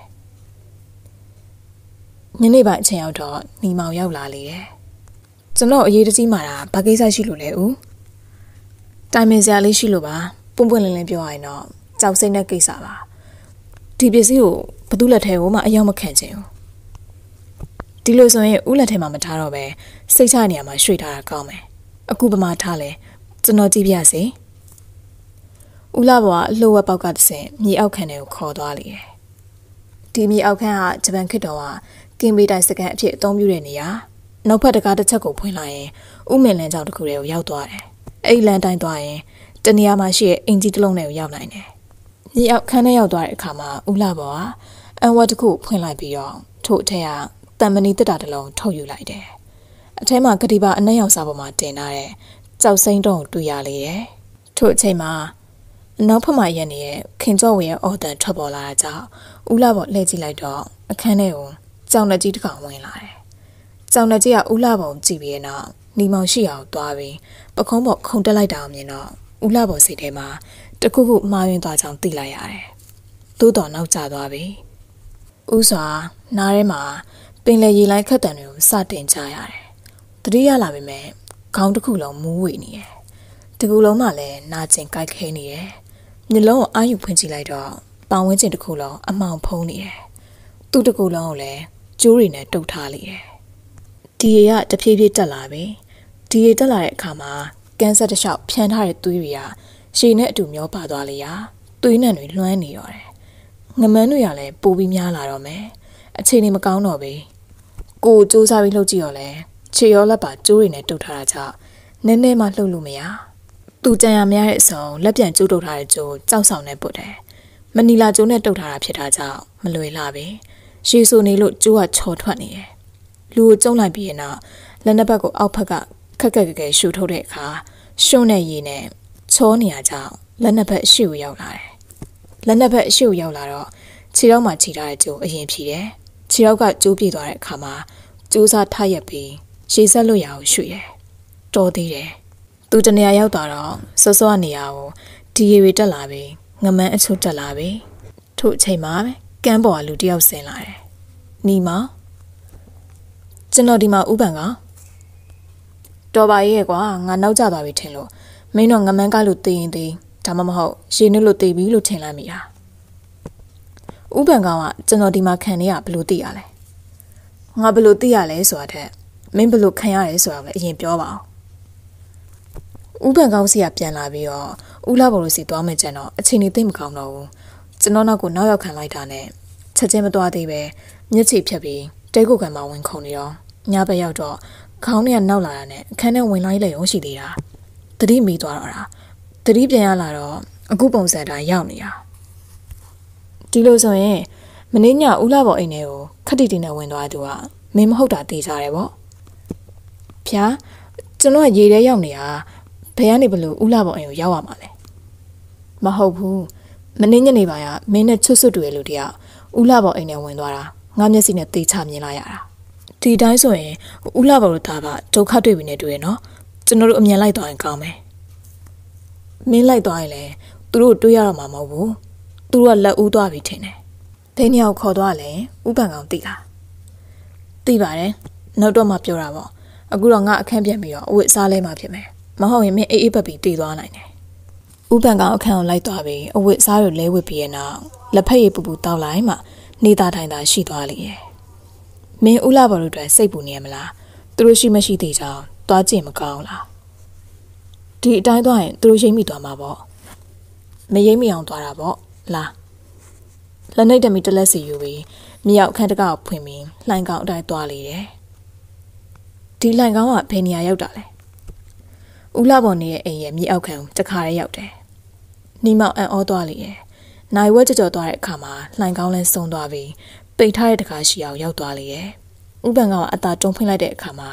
အခန်းကျက်တကူတွေကိုရောက်သွားလေတယ် ဒါဦးလာဘော်တို့အိမ်ရဲ့မြေအောက်ခံပဲဒါပေမဲ့သူတို့တော့ရှိပုံမရဘူးဘယ်နေရာကိုခေါ်သွားရထင်လဲမင်းကိုပေးထားတဲ့ငွေလက်စွပ်ကိုဖြန့်ကြည့်ပါလားလက်မဝတ်ထားတဲ့လက်စွပ်ကိုချွတ်လိုက်တယ်လက်စွပ်မှာငွေပြားကိုလိပ်ပြီးထိတ်ချင်းဆွတ်ထားတာကြောင့်ထိတ်နှစ်ခုဆွဲဖြုတ်လိုက်တာနဲ့အပြားလိုက်ပြန့်သွားလေတယ်ထိုငွေပြားပေါ်မှာကျွန်းစုအချို့ရေးမှတ်ထားပြီးမရဏရေးလက်ကြနေရအောင်အမတ်အသားတွေချစ်ပြသွားတယ်ဒါ မရဏရေးလက်ကြနေရမဟုတ်လားသူတို့အဲ့နေရာဖမ်းသွားလားဒါပဲရှိမှာပေါ့သူတို့အမြင်ကဲမှဖြစ်မယ်ထို့နောက်မြေအောက်ခံတွေကပြန်ထွက်ခဲ့ကြတယ်ပလဲကျုံပြန်ရောက်တော့ထူးဆန်းမှုကစီးကြိုနေတယ်နီမောင်တို့စီးလာတဲ့ဆက်လေစိတ်ကန့်ကိုကပ်ပြီးဥပန်ကောင်နဲ့တူတရားပေါ်တက်သွားတော့အဘဦးဆိုင်တော်အပါဝင်အလုပ်သမားတွေကတယောက်မှဆင်းမလာပဲကန်းဆက်ကရက်ကြည့်နေတယ်ခါတိုင်းသူမျိုးကပြန်လာရင်အပြေးလွှားကျူဆွဲအလုပ်သမားတွေမှာ ခတ်ထန်တဲ့မျက်နှာတွေနဲ့လှမ်းကြည့်နေတယ်။ကောင်းလေမင်းအလုပ်သမားတွေရဲ့စီးကြိုပေါ်ကတဲမဟန်ဘူးမင်းတတိနဲ့သွားပြီးတော့ဥပန်ကောင်ကခတ်တိုးတိုးတတိပေးလိုက်တယ်။သူတရားထရောက်တော့ဦးဆိုင်တော်ကအရှိ့ထွက်လာတယ်။မင်းဘာတူလဲ။ဗျာကျွန်တော်နေမောင်လေနေမောင်အစ်စ်ဟုတ်မဟုတ်ဆိုတာဘလို့တက်သေးပြမလဲ။ကျွန်တော်ကတက်သေးပြရမယ်ဟုတ်လား။ကျုံးပေါ်မှာဘာဖြစ်နေရလဲ။ကျွန်တော်ဘာမှနားမလဲတော့ဘူး။ ခုလောလောဆယ်မင်းနေမောင်ဟုတ်မဟုတ်စမ်းကြည့်ရမယ်။လူတယောက်လမ်းပြီးအုံသီးစိတ်တစ်လုံးယူပြီးနေမောင်တက်တဲ့ကိုပြစ်ပေါက်လိုက်တယ်။နေမောင်ကဝင်လာတဲ့အုံသူမရှောင်တော့ပဲတတောင်နဲ့ရိုက်ခွဲလိုက်တယ်။ထက်ချမ်းကွဲသွားပြီးအုံးရည်တွေရွှဲသွားလိရဲ့။ထို့အချိန်မှာအပဦးဆိုင်တော်ခုံဝင်လာပြီးတိုက်ခတ်လေရာနီမောင်ကပြန်မတိုက်သေးပဲလွတ်အောင်ရှောင်ပေးလိုက်ရတယ်။ကောင်းလေမင်းနီမောင်အစ်စ်ဖြစ်တယ်ဆိုတာတတ်သိပြခြင်းတော့ဒီအတိုင်းရှောင်နေုံနဲ့မဖြစ်ဘူး။ ဥပန်ကောင်ကတတိပေးလိုက်တော့မှဦးဆိုင်တော်ပြန်လဲတိုက်ခတ်လေရဲ့။အချိန်အတော်ကြာတဲ့အထိအနိုင်အရှုံးမပေါ်တော့မှဦးဆိုင်တော်ကရက်လိုက်တယ်။မင်းနီမောင်အစ်စ်ဆိုတာလက်ခံတယ်။ငါတင်ပေးထားတဲ့ပညာရည်တွေကမင်းတယောက်တည်းမှာရှိရဆိုတော့ဟုတ်ပြီ။ကျွန်တော်တစိမ့်လောက်ရှင်းပြပါအောင်အဘဒီမှာဘာတွေဖြစ်နေရလဲမင်းဘိတ်ကိုတက်သွားပြီးတိတ်မကြခင်မှာဆက်လေးတစ်စင်းရောက်လာတယ်အဲ့ဆက်လေးမှာမင်းနဲ့ချွတ်ဆွတ်တွေလူတယောက်ပါလာတယ်ငါတို့လည်းမင်းလို့ထင်တော့မှတ နတ်တွေနဲ့တိုးစီမှာရှေ့ပစ္စည်းတွေအားလုံးယူသွားတာဒါကြောင့်အလုပ်သမားတွေကမင်းကိုအထင်လွဲနေတာခူးဆိုရင်အခြေအနေတွေကအတော့ဆိုးနေပြီကျွန်တော်တို့တွေဖြစ်တဲ့အနေနဲ့ပြန်တိုင်းမှဖြစ်မယ်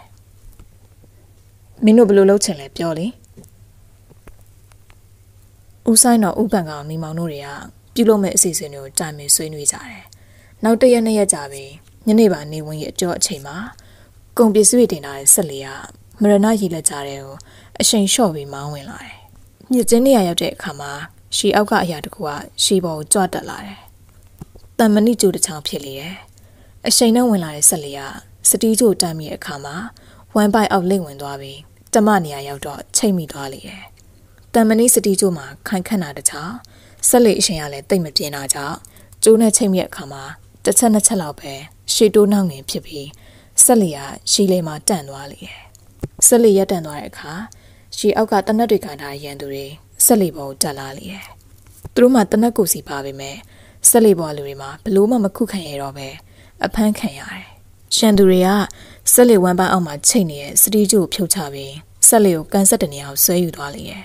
ကန်ဆက်ရောက်တဲ့အခါမှာဆက်လေးပေါ်လူတွေကအချက်ပေးလိုက်ကြတယ်။ထို့အခါခြုံတဲ့ပေပေါင်းတွေဖုံးအုပ်နေတဲ့ကြောက်နေရင်မှာတဖြည်းဖြည်းပွင့်လာလေရာကူပေါက်ကြီးတစ်ခုပေါ်လာတယ်။ဆက်လေးအထက်ရောက်သွားတဲ့အခါမှာ ဆက်လေးနောက်ပိုင်းကလူတယောက်ကအမောင်ရိပ်ကိုအကာအကွယ်ယူပြီးရှည်ထဲကိုဆင်းသွားတာတော့ဘယ်သူမှမသိလိုက်ကြ။ထိုလူကကြောက်ကူတကာပြန်မပိတ်ခင်မှာရှည်အောက်ကငုံပြီးအပြုံထွက်သွားလေတယ်။ထိုနေရာမှာအပြင်ဘက်ကကျင်ဘလို့မှမမြင်နိုင်တဲ့ရှေးဟောင်းလှုပ်ဝက်စကန်တကူဖြစ်လေတယ်။အထဲမှာကျယ်ဝန်းလေတယ်။ဖန်စီထားတဲ့ဆက်လေအချို့တွေ့ရတယ်။ထို့အထဲမှာငွေစင်ရောဆက်လေကိုလည်းတွေ့ကြရတယ်။ ဆက်လေအထဲရောက်သွားတဲ့အခါမှာအနက်ရောင်ဝတ်စုံဝတ်ထားသူတွေကဆက်လေပေါ်လူတွေကိုဖန်စီသွားပြီးအခန်းကျယ်ရဲ့ထဲပြီးတကားပိတ်လိုက်တယ်။အခန်းထဲမှာအခြားဖန်သားတွေလည်းရှိတယ်။မီးရောင်မင်းပြပြရှိရကြောင်းတယောက်နဲ့တယောက်မသေးမကွဲမြင်နေရတယ်။ထို့အခန်းချင်းထဲမှာဦးလှပေါ်နဲ့ခင်ကျော်ဝေတို့လည်းရှိနေတယ်ထို့အချိန်မှာနောက်ထပ်ရောက်လာသူတယောက်ကဦးလှပေါ်နောက်ကတ်လာပြီးဦးလို့ခေါ်လိုက်တယ်မင်းဘာတူလဲ ကျွန်တော်ညီမမှာကျွန်တော်ညီမအစ်စ်ပါဦးရိုကဲကိုမရောက်ရအောင်လာတာပါအဲ့ညဦးရိုသားဖစီကိုလာတော့မယ်ဆက်ဖန်ခံရပြီးတေရင်းနဲ့အပို့ခံလိုက်ရတာပါဒီကကျွန်တော်မိတ်ဆွေဦးပန်ကောင်နဲ့တွေ့လို့တေပြရလွတ်ခဲ့တာဒူသားအဖလည်းမင်းရောက်လာလို့ဝမ်းသာအားရနဲ့မြေတိုက်ခန်းနဲ့ခေါ်သွားမိပါတယ်အထက်ရောက်မှမင်းမဟုတ်မှန်သိရပြီအဖမ်းခံလိုက်ရတာစိတ်အားမငယ်ပါနဲ့ဦး ဒါထက်ဦးစီကကြောက်စိတ်နဲ့ကသူတို့စီပါသွားပြီပေါ့ဟုတ်လားအဲ့ဒီအကြောင်းတွေကိုနောက်မှပြောအောင်မောင်နေမှာအလဲရအဝိစားတွေဝတ်ထားသူတွေကဆက်လေးပေါ်ကွန်ပစ္စည်းတွေကိုအောက်ကိုတိတ်ချလေတယ်ထိုလူတို့ခိုင်းနေတဲ့လူမှာတဲကိုကန်ကမန်နေဂျာအဖြစ်လောက်ကနေသူဖြစ်ကြောင်းသိရတော့နီမောက်စိတ်ထဲမှာမအံ့ဩတော့ပြီထိုလူနဲ့အတူနောက်တစ်ယောက်ကပါကြီးကြက်စီခိုင်းနေတယ်သူ့အလုပ်သမားတွေကအမတ်နှင်းလို့ခေါ်ကြတယ်ထို့အခါဥပန်ကောင်ဟာ အမတ်နှင်းဆိုတာဒီမဟူရခိုင်းရဲ့အဓိကခေါင်းဆောင်ဖြစ်တဲ့ကင်မီကောင်းဆွဲလို့ပဲကူကြီးတစ်ခုလုံးမှာတိတ်ဆိတ်နေတယ်ဥပန်ကောင်နေမမနေရမှာမေးပြီးအေးအေးဆေးဆေးထိုင်ပြီးစေးပလိတ်တောင်းနေဥပန်ကောင်တော့တွားပြီးခတ်တူတူခေါ်လိုက်တယ်။ဘာလဲကောင်လေဥပန်ကောင်ပေးရဲ့အကျဉ်းတိုင်းတမင်အဖမ်းခံပြီးဒီထက်ရဝင်တာတော့ဟုတ်ပါပြီ။ဒီထက်အခြေအနေရောဥပန်ကောင်အကြံဟမ်းမမလား ဒီလိုမှမလုပ်မင်းဒီကူရဲကိုဘယ်လိုရောက်နိုင်မလဲမင်းဒီအခန်းထဲကလွတ်မြောက်ခြင်းရဲ့အခန်းဝမှာရှိနေတဲ့အစားအရင်ရှင်းမပြစ်ပဲနဲ့ဘယ်လိုနည်းနဲ့မှမဖြစ်နိုင်ဘူးကွာဘာမှအုံနောက်ချောက်ပြီးစဉ်းစားမနေနဲ့အခန်းဝမှာစောင့်နေယောက်ျားအစားကဒီအခန်းထဲကအကျဉ်းသားယောက်ျားတကူဖြင့်ဂယုစိုက်ချင်မှာမဟုတ်ဘူးလူတယောက်ရဲ့စိတ်ကိုလှုပ်ရှားစေနိုင်တာဆွဲဆောင်စေနိုင်တာဖားလေနီမောင်မျက်လုံးပြူပြီးကြည့်လိုက်တယ်စန့်ကျင်ဘက်ပဲပေါ့ကွာထို့အခါမှပဲသဘောပေါက်သွားတော့တယ် ခင်ကျော်ဝေကိုအတုံးချပြီးလွတ်မြောက်အောင်လုပ်ရမှာပေါ့အစီအစဉ်တွေပြုလုပ်ပြီးတဲ့အခါမှာခင်ကျော်ဝေတယောက်ကျမ်းမြင့်မော်လဲကျသွားပြီးညင်းညူနေတယ်အဆောင်ကလမ်းမြင်သွားလိမ့်တယ်ဘာဖြစ်နေရလဲဒီမင်းကလေးဘိုက်အတော်အောင့်နေလို့ပါပြုစုပေးလိုက်လေမရဘူးဒီမိန်လာကယောက်ျားတွေပဲဆိုတော့အပေါ်ဝါတော့လို့မရဘူးဖြစ်နေတယ်သူ့အပြင်ခဏလေးထုတ်ပေးပါဗျာမဟုတ်ရင်တေးသွားလိမ့်မယ် အဆောင်ကအတန်ကြောင်စဉ်းစားနေပြီမှသူ့အပြင်ထုတ်လိုက်ကြကွာငါးဆရာရီစီခေါ်သွားလိုက်မယ်ဟိုရောက်တော့မှသူတို့ဘာသာယောဂပြောင်ကုပေးလိုက်မယ်နီမောင်ကခင်ကျော်ဝေကိုပွေခေါ်သွားလေတယ်အဆောင်ကအခန်းတကာတော့ခလောက်ကိုဖွင့်ပြီးတကားကိုလူတယောက်ထွက်တာရောဟပေးလေတယ်သူလည်းမရှောင်းနိုင်တော့လို့ကျွန်တော်ပွေထုတ်ပေးပါမယ်နီမောင်ကပွေပြီးတော့အခန်းအပြုံထွက်လေတယ်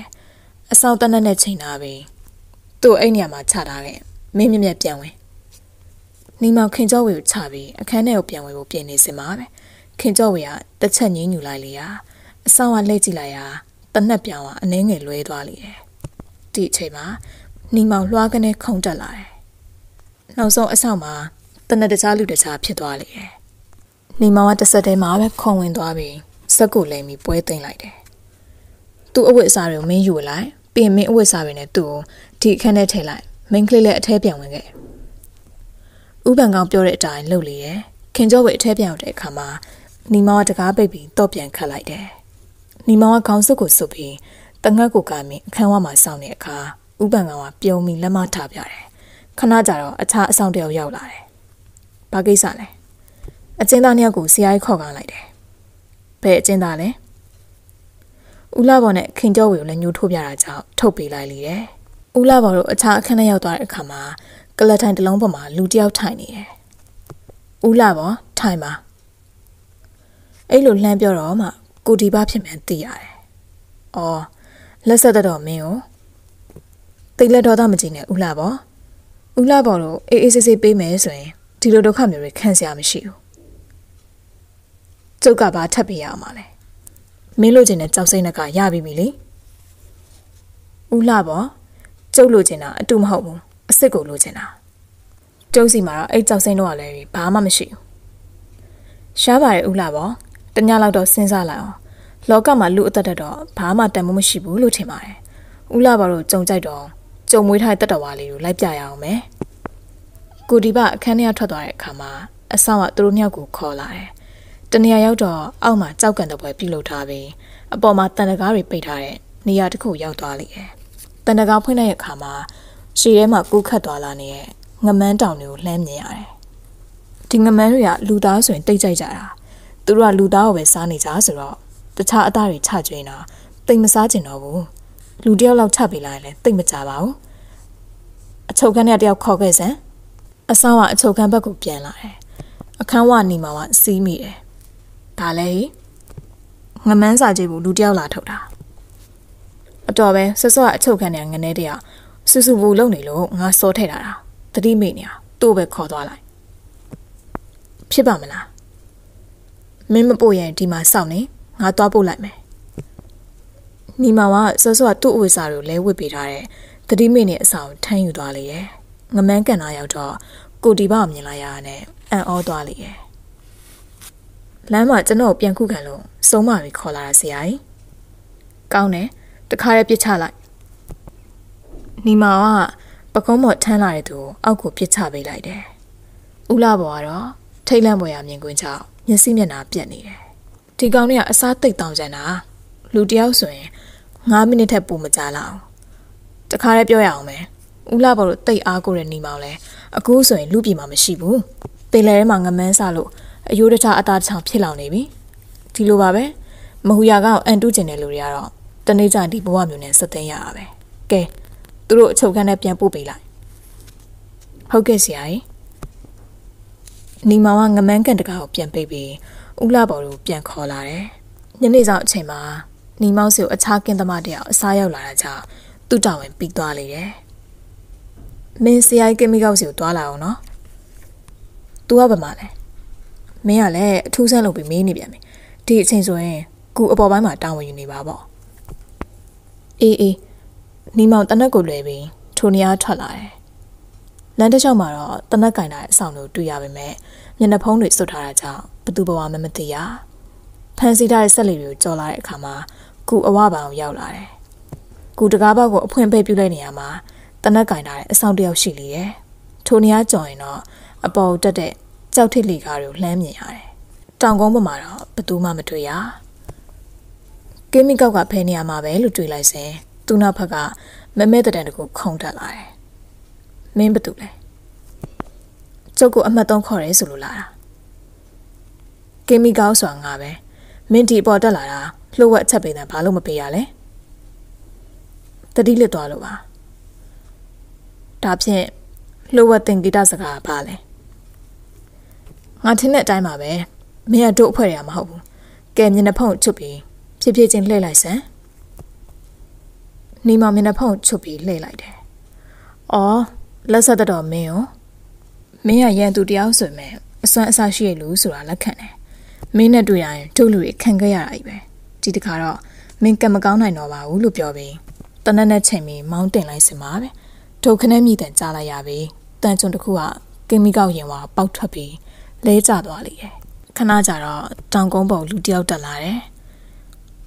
အဖဦးဆိုင်တော်ဖြစ်လေတယ် သူနောက်ကကြော်စွာစန်တာကျော်စောတင်းငမဲအောင်စားရမမီတို့အဖွဲ့သားတွေတက်လာတယ်ဘလို့လဲကောင်လေလက်မတင်လေးပဲလားဟုတ်တယ်ကျေးဇူးပဲအဖအဖတို့ကဘယ်အချင်းရောက်နေရလဲတို့ရောက်နေရကြပြီမောင်မတက်လာတော့မယ်ဆိုပြီးစောင့်နေရကန်းကြီးစောက်တစ်ဖွဲ့တွေလည်းမကြခင်ရောက်လာတော့မှာဒီလိုဆိုရင်ကျွန်တော်ကူပေါက်တကာဖွင့်ပေးမယ်အဘတို့ခဏလေးစောင့်ကြနီမအောက်ပြန်ဆင်းသွားလေရဲ့ တကားဆောင်ကသူ့အမြင်တဲ့အခါမှာစဝေးစဝါကြည့်နေရဲ့ထို့နောက်သူတို့လူမဟုတ်မှန်းသိတော့တနက်နဲ့ပြစ်ဖို့ချိန်လိုက်စင်ပါပဲနီမပြစ်လွတ်လိုက်တဲ့ထားလေပင်ကိုစိုက်ဝင်သွားလေရဲ့နီမောင်ကတလက်ကိုလှည့်ပြီးကုတကားကိုဖွင့်ပေးလိုက်ရာအပြင်ဘက်ကရောက်နေတဲ့အဖွဲတွေဝင်လာတယ်။နီမောင်ကသူ့ရထားတဲ့တနက်တွေကိုပေးလိုက်တယ်။အချုပ်ခန်းရှိအောင်ပြန်သွားပြီးအဆောင်အလွယ်တကူတက်ဖြတ်လိုက်ပြီးအချုပ်ကန်းတကားကိုဖွင့်ပေးလိုက်တယ်။ဟိုဘက်မှာဆက်လီတွေရှိရဲအဲ့ဒီဘက်ကိုသွားနေမှာကျွန်တော်တို့လူတွေလည်းရောက်လာပါပြီ။ ကျွန်တော်တို့အတွက်တော့စိတ်မပူပါနဲ့။ဆက်လီပေါ်ရအောင်အပြင်ရအောင်မောင်းထွက်နေ။ကန်းကြီးဆောင်တစ်ဖွဲ့တွေရောက်လာလို့ပြစ်ကြခတ်ကြရင်အန်ဒီရရှိနိုင်ပါတယ်။ဦးလာဘော်တို့နဲ့အတူအခန်းထဲကလူတွေအားလုံးဆက်လီတွေရှိရအောင်ပြေးသွားကြတယ်။နီမောင်တနက်တလက်ကိုခံပြီးကိုဒီပါအမိခံရက်ခဒီပါကိုလိုက်ရှာလိရဲ့။အခန်းတစ်ခန်းထဲရောက်တဲ့အခါမှာရက်ခတီပါအောင်မြင်လိုက်တော့တနက်နဲ့ပြစ်ဖို့ချိန်လိုက်တာနဲ့ကြောင်လက်ကြီးကခုန်တက်လာတာကြောင့်ပြစ်ခွင့်မသားတော့ဘူး။ ကြောင်လက်ကြီးပျောက်သွားလို့ရက်ခတ်ဒီပါကိုလှမ်းကြည့်လိုက်တော့ဆွဆွကနေရာမှာမရှိတော့ဘူး။သူ့လက်မောင်းနဲ့ကိုပွားအဝတ်စားတွေမှာကြောင်လက်သေးတွေကြောင့်စုပ်ပြက်နေတယ်။အဲ့လိုလိုက်ရှာရင်ငမန်းကန်နာရောက်တော့အမိုးမျက်နှာချက်ကမမဲတဲ့တန်ခုံဆင်းလာတာကြောင့်လို့အောင်ရှောင်ပြီးတနက်နဲ့ဖြစ်တယ်။မမဲတဲ့တန်ကပြန်ပြောက်သွားလိမ့်တယ်။ဒီလိုနဲ့မြင်လိုက်ပြစ်လိုက်နဲ့ကြည်စံကုန်သွားတဲ့အခါမှာခုနေရန်ကြားပင့်ကူတကောင်လိုမမဲတံဆင်းလာတယ်။ပင့်ကူနဲ့ မလန်မကန်ရောက်တဲ့အခါမှာထိုလူမှလူတယောက်ဖြစ်ပေမဲ့ပူကွာကွာနဲ့ခြေလက်တွေကလည်းပင့်ကူတကောင်နဲ့တူလာတယ်။ပင့်ကူနဲ့ခုံဝင်လာရင်အနာကပ်မခံတော့ပဲခြေရောက်ကန်ချက်တွေနဲ့ကန်ပြီးတစ်ချက်ကောင်းနှစ်ချက်ကောင်းဝင်လိုက်တယ်။ဒီလိုနဲ့ငမန်းကန်တာရောက်တော့ပင့်ကူနဲ့ကတန်တကောက်ခြေရောက်နဲ့ကန်ဖွင့်လိုက်တယ်။ညီမကငမန်းကန်တဲ့အကြောင်းတိုက်ခိုက်ဖို့ဖြစ်လေတယ်။သူတိုက်ခိုက်တာကိုထီထီကပြန်မတိုက်နိုင်သေးတာကြောင့်အစင်နှိမ်သူလို့တွေးပြီးဒရကြန်ဖိတိုင်ဟာရှောင်းရင်တင်းရင်နဲ့ ငမန်းကံပေါ်ရောက်သွားလေတယ်။နောက်ဆုံးမှတော့နီမောင်ကပင့်ကူနဲ့ရင်ဝါလက်သီးနဲ့စောင့်ထိုးလိုက်တယ်။ငမန်းကံနဲ့ကိုတွန်းချလိုက်တယ်။ပြီးရနောက်တနကားကိုပြန်ပိတ်ပြီးအပြုံထွက်လာတော့ရှည်ဆက်တနေရာရောက်နေတဲ့ဥပန်ကောင်းနဲ့တွေ့ရတယ်။ဘလို့လဲပင့်ကူနဲ့ကိုအနိုင်တိုက်ခဲ့တယ်ဆိုတော့အခြေအနေမဆိုးလာပါဘူး။အပြင်မှာရောအခြေအနေဘလို့လဲ။ကန်းချီဆောင်တပ်ဖွဲ့တွေရောက်နေပြီသူတို့ကူရဲဝင်ပြီးရှင်းလင်းမှုလုပ်နေတာသူတို့ဖန်တာဆက်လီတွေရောအပြုံပြန်ထုတ်ပြီးပြီ အဲ့ဒီအထက်မှာငွေစင်ရောလဲပါတယ်ရက်ခဒီပါရောမိပြီလားသူရဲ့လက်ရုံးလေးယောက်တည်းကပင့်ကူနဲ့နဲ့ကင်မီကောက်တော့တည်သွားပြီခုံဘီလာနဲ့ရေနကားကြံနေသေးတယ်အဲ့လိုပြောနေစင်မှာရှည်တွေကမမဲတဲ့တိုင်ဝုန်းကနေခုန်တက်လာပြီးညီမကိုဖတ်ပြီးရှည်တွေကိုပြန်ခုန်ချသွားတယ်အဲ့ဒါခုံဘီလာပဲဟိရှည်ရဲမမြုပ်ခင်ဥပန်ကောင်ကလှမ်းអော်လိုက်တယ်ရှည်ရဲရောက်တာနဲ့နီမာကချုပ်ထားလက်ကိုဖြေပြီး လူချင်းခွာလိုက်တယ်အတန်ကြောင့်နီးအမျိုးမျိုးတိုက်ခိုက်ကြည့်လို့မရမှန်သေးတဲ့အခါနီမာကိုနောက်ကတိုင်းချုပ်ပြီးရှည်ရဲနှစ်သက်ဖို့ကြိုးစားလာတယ်အဲ့လိုဝင်ချုပ်လိုက်တာနဲ့နီမာကတတောင်နဲ့စောင့်တိုက်လိုက်တယ်အုံးတီတလုံးကိုခွဲပစ်နိုင်တဲ့တတောင်ချက်ထိသွားတာနဲ့ချုပ်ထားတဲ့လက်တွေရော့ကျသွားတာနဲ့နီမာကကိုတပတ်လှည့်ပြီးမျက်နှာကိုလက်သီးနဲ့ထိုးချလိုက်ရာနောက်ကိုလန်ကျသွားတယ်ပြီးတော့သူရေပေါ်ပြန်တက်လာတယ်။ကူထဲမှာတော့ကန်းချေဆောင်တစ်ဖွဲ့တွေကကူထဲကလူတွေကိုဖမ်းဆီးပြီး ကူတလုံးကိုတင်ပိုက်ထားလေတယ်။တောင်ကုန်းပေါ်ကအိမ်အရင်ကဦးလာဘော်လိုနေထားပြီးအခုသူတို့မရှိတဲ့အခါခြံဝန်းတကားနဲ့အိမ်တကားကိုတော့တောက်ခတ်ပိတ်ထားလေတယ်။ညဟာလာရောက်မရှိတာကြောင့်မှောင်မိုက်နေတယ်။တကောင်ကျော်အချိန်ရောက်တဲ့အခါမှာထိုခြံဝန်းတကားနာကိုမမဲတဲ့တန်တကူချင်းကပ်လာပြီးရဲ့နောက်အထဲကိုဝင်သွားလေတယ်။အလင်းရောင်မရှိပေမဲ့အိမ်ရဲ့အနေထားမှတ်မိနေပုံနဲ့အခက်အခဲမရှိပဲမြေရောက်အခန်းကိုဆင်းသွားလေရဲ့ မြေရောက်ခန်းရောက်မှသူ့စီမှာပါလာလက်နှိပ်တမီလေးကိုအသုံးပြုပြီးနေရန်တနေရာမှာဖွက်ထားတဲ့တစ်တောင်ငယ်လေးကိုထုတ်ယူလိရဲ့အသင်းပါလာတဲ့တော့နဲ့ဖွင့်ပြီးအထက်ကကြောက်စိမ့်နှက်ကိုထုတ်ပြီးလက်နှိပ်မြေအောင်နဲ့ထိုးကြည့်လိုက်တော့အနက်ရောင်အစင်းရောင်အလင်းတန်းတွေအခန်းတစ်ခုလုံးပြန့်နှံ့သွားလေရဲ့ထို့အချိန်မှာအခန်းမိတွေလင်းလာတယ်စောင့်လိုက်ရတာဦးလှပေါ်ရဲ့အခုတော့လည်းအခန့်တင်ပါလားစပွဲထိတ်မှထိုင်နေရက်ခတီပါဦးလာပုံတနက်နဲ့ချိန်တိုင်းပြောလိုက်တယ်။ ကဲအဲ့ဒီကြောက်စိမ့်တဲ့ကိုအပ်ပြီတော့ထို့အခါကြောခိုက်နေသူကတဖြည်းဖြည်းလှည့်လာပြီးဦးကဘောကစောင်းထားတဲ့အုတ်ထုံနဲ့ကုံအင်းကြီးကိုချွတ်ပစ်လိုက်တယ်။ထို့သူမှာသူထင်သားတယ်လို့ဦးလာပေါ်မှာဟောနီမောင်ပဲဖြစ်လေတယ်။ရက်ခတီပါတနက်နဲ့ပြစ်ဖို့ပြင်းတဲ့အခါနီမောင်ကလှိမ့်ရှောင်ထွက်သွားပြီးမိခလုံနာရောက်တော့မိပိတ်ပစ်လိုက်တယ်အခန်းထဲမှာမှောင်သွားလေရဲ့ရှက်ခဒီပါမှာမမဲမြင်သမျှတနက်နဲ့ပြစ်လေရခဏကြာတော့ ကြီးစံကုန်သွားလေရဲ့အတန်ကြာတော့အခန်းမြွေပြန်လင်းလာတယ်ညီမမအခန်းအလယ်လောက်မှာရက်နေတယ်ရှက်ခဒီပါဒေါသတကြီးနဲ့ကိုပေါ်မှာဝတ်ထားတဲ့အင်ကျူဆွဲဖြက်ပြလိုက်ရာသူ့ကြောမှာရက်ခဘလူရုပ်ကြီးပေါ်လာတယ်ညီမမလည်းအပေါ်အင်ကျူချွတ်လိုက်လေရလေ့ကျင့်မှုအားကောင်းခဲ့သလားကျစ်လက်တောင်ကိုင်းလာတဲ့ကြွသားဆန်တွေကအထင်းသားပေါ်လာတယ်နောက်ဆုံးမှာတော့ရက်ခဒီပါမှာတုံကနေရက်သွားပြီးခကြငြိမ်သွားလေတယ်ခဏကြာတော့ တဖြည်းဖြည်းခေါင်းထောင်ထလာပြီးမင်းတော်တယ်လို့ဘလုံးပထွေးပြောဆိုပြီးကျမ်းမြင့်ပေါ်ကိုလဲကျသွားလေတော့တယ်မလုံနိုင်တော့ပြီညီမကစပွဲပေါ်မှာတင်လာတဲ့ကြောက်စိမ့်နဲ့တုံယူပြီးမြေရောက်ခန်းထဲကပြန်တက်လာတယ်အပြင်ဘက်မှာအာယုံအလင်းရောင်တွေဖြန့်ကျက်စာပြုတ်နေပြီညီမအင်ကြီးပေါ်ပြောက်တဲ့အခါမှာလူစုံတက်ဆုံတွေ့ရတယ်အဘဦးဆိုင်တော်ဦးပန်ကဦးလှပေါ်ခင်ကျော်ဝေကြော်စွာစန်တာကျော်စောဒီငမဲအောင်လို့ဖြစ်လေတယ် ငါတို့ကအောက်ကိုစင်းကူမလို့ဒါဒါပေမဲ့မင်းတယောက်တည်းပြီးမယ်ထင်လို့ဒီမှာပဲထိုင်ဆောင်နေရဥပန်ကောင်ကပြောလိုက်တယ်နီမောင်ကချွေးတွေကိုတုတ်လိုက်ပြီးရင်တော့ကြောက်စိမ့်နဲ့ကိုဥလာဘော်ကိုလှမ်းပေးလိုက်တယ်ဘလို့လဲပွဲပြီးခဲ့ပြီလားလို့ဥပန်ကောင်ကမေးတယ်မပြီးသေးဘူးထင်တယ်ရခတိပါတီးပြီးဒါပေမဲ့သူတို့အဖွဲ့ထဲမှာအဓိကခေါင်းဆောင်9ယောက်နဲ့ရခတိပါပင့်ကူနဲ့ကင်းမီကောက်နဲ့ခုံပီကကိုပဲရသေးတာတယောက်လိုနေသေးတယ်ဘာတူလဲ ရှေးနဂါကြံနေသေးတာမင်းကရေနဂါကိုရှာဖို့မလိုပါဘူးရေနဂါကမင်းပေးနာမှာတစ်ချိန်လုံးရှိနေရပဲဟင်ဘာတူလဲဒီမမတန်တော်မိလိုက်တယ်ရေနဂါကသာမင်းကိုတတ်မဲဆိုရင်မင်းတေတာကြာရောပေါ့ရေနဂါဆိုတာတခြားသူမဟုတ်ဘူးငါပဲအဖရေနဂါဟုတ်လားကျွန်တော်တော့မျက်စိလဲသွားပြီရှင်းပြပါအောင်အဖရဲ့ ဟုတ်ပါတယ်ငါမဟူရကောင်းဝင်တယောက်ဖြစ်နေအဲ့ဒီကောင်ကိုဖော်ထုတ်ဖို့အသွင်းသက်ရှူတယောက်မဟူရကန်းကျုပ်ရက်ခတီပါငါ့ကိုပေးတဲ့အဓိကတောင်းဝန်တွေမှာမင်းကိုတက်ရမယ့်တောင်းဝင်ပါတယ်ဒါမဲ့ငါမင်းကိုမတိမတာအကူအညီပေးနေသူတို့အကြောင်းတွေဖော်ထုတ်နိုင်ခဲ့တယ်လေအခုတော့မဟူရကန်းလည်းပြိုကွဲသွားပြီဆိုတော့ငါတောင်းဝင်လည်းပြီးပြီပေါ့ဒါဖြင့်ဥပန်ကောင်ဒီကနေသွားတော့မှာပေါ့နော်တာဝန်ပြီးတော့လည်းတခြားတာဝန်ကြားရစီထပ်သွားရအောင်ပါပေါ့ဒါပေမဲ့ ဒီမှာနောက်ထပ်တာဝန်တခုကြံသေးတယ်ကွာဒါပြီးမှသွားရမှာဘာတာဝန်လဲရင်ငါကိုယ်တိုင်ကမကထလုပ်ပြီးတော့မင်းကိုလက်ထပ်ပေးရမယ်တာဝန်လေဘသူနဲ့လက်ထပ်ပေးရမှာလဲဒီလောက်လဲစိတ်ပူမနေပါနဲ့ကွာတခြားသူမဟုတ်ပါဘူးဟော်ရီယာဦးလာပေါ်ရဲ့တမီးလေးနဲ့ဒူလူကြီးချင်းတွေအားလုံးပြောဆိုပြီးပြီငါထင်တာကတော့မင်းတို့လူငယ်တွေလည်းနားလည်မှုရှိပြီးသားလို့ထင်ပါတယ်ထို့ကဦးလာပေါ်ဟာ ကျုပ်လည်းအရင်ကတော့ကိုချမ်းသာဖို့လည်းကြည်ပြီးကောင်းတာတွေရောမကောင်းတာတွေရောအားလုံးလုပ်ခဲ့မိတယ်ဒါကြောင့်အသက်ရွယ်လည်းရလာပြီးတော့အေးအေးဆေးဆေးနေမယ်စိတ်ကူတော့မှအရေးမဲတွေဖုံးအောင်မှုခံရတာအခုတော့နောင်တလည်းရပါပြီသမီးလေးကိုစိတ်ချရတဲ့သူနဲ့လက်ထပ်ပြီးပြီးတော့အေးအေးဆေးဆေးနေတော့မယ်လို့စိတ်ကူးပါတယ်ဦးလာပေါ်စကားကြတော့ဥပန်ကပါကဲနေမှာလူကြီးချင်းတွေကတော့ပြောဆိုပြီးပြီမင်းတို့လူငယ်ချင်းပဲသဘောမျှပုံရတယ် တေးကြောင်ထပ်ပြီးညှိချင်လဲညှိအောင်မော့မင်းသဘောအောင်လူကြီးတွေသဘောကျလို့စီစဉ်တာကိုကျွန်တော်ညင်းစရာမရှိပါဘူးဒီလိုဖြစ်လဲမင်းကိစ္စပြီးမှပဲငါပြန်တော့မယ်ကဲတို့တွေဥလာပေါ်နဲ့တာမင်မင်းစီစဉ်ကြတွေစီစဉ်နေမယ်မင်းလည်းတိတ်ပင်မဲနေပြီ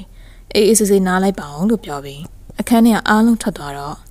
ခင်ကျော်ဝေကဘီယိုရဲကတပတ်တထဲနဲ့အဝတ်အစားတစ်စုံယူပြီးတာကြောင့်နီမောင်ကချွေးတို့တုတ်ပစ်ပြီးအဝတ်လဲလိုက်တယ် ကိုနီမောင်လည်းကျမတို့နဲ့ပတ်သက်ပြီးအသက်ဘေးအန္တရာယ်အတော်တွေ့ရတယ်နော်ရပါတယ်အခုတော့လည်းအားလုံးပြီးသွားပါပြီကျွန်တော်ကမဝေတို့တခုခုဖြစ်သွားမှာကိုစိုးရိမ်နေမိတာကျွန်တော်မဝေပေါ်မှာတန်ရုံးစင်ရှိနေပြီလို့အမှန်ပြောရရင်ပလဲကျုံတစ်ခေါက်လာကြတဲ့ကတန်ရုံးစင်ရှိနေမိတာအဲ့ဒါကိုမရိပ်မိဘူးလားယင်ကျွန်တော်တန်ရုံးစင်ကိုမဝေနားလေလား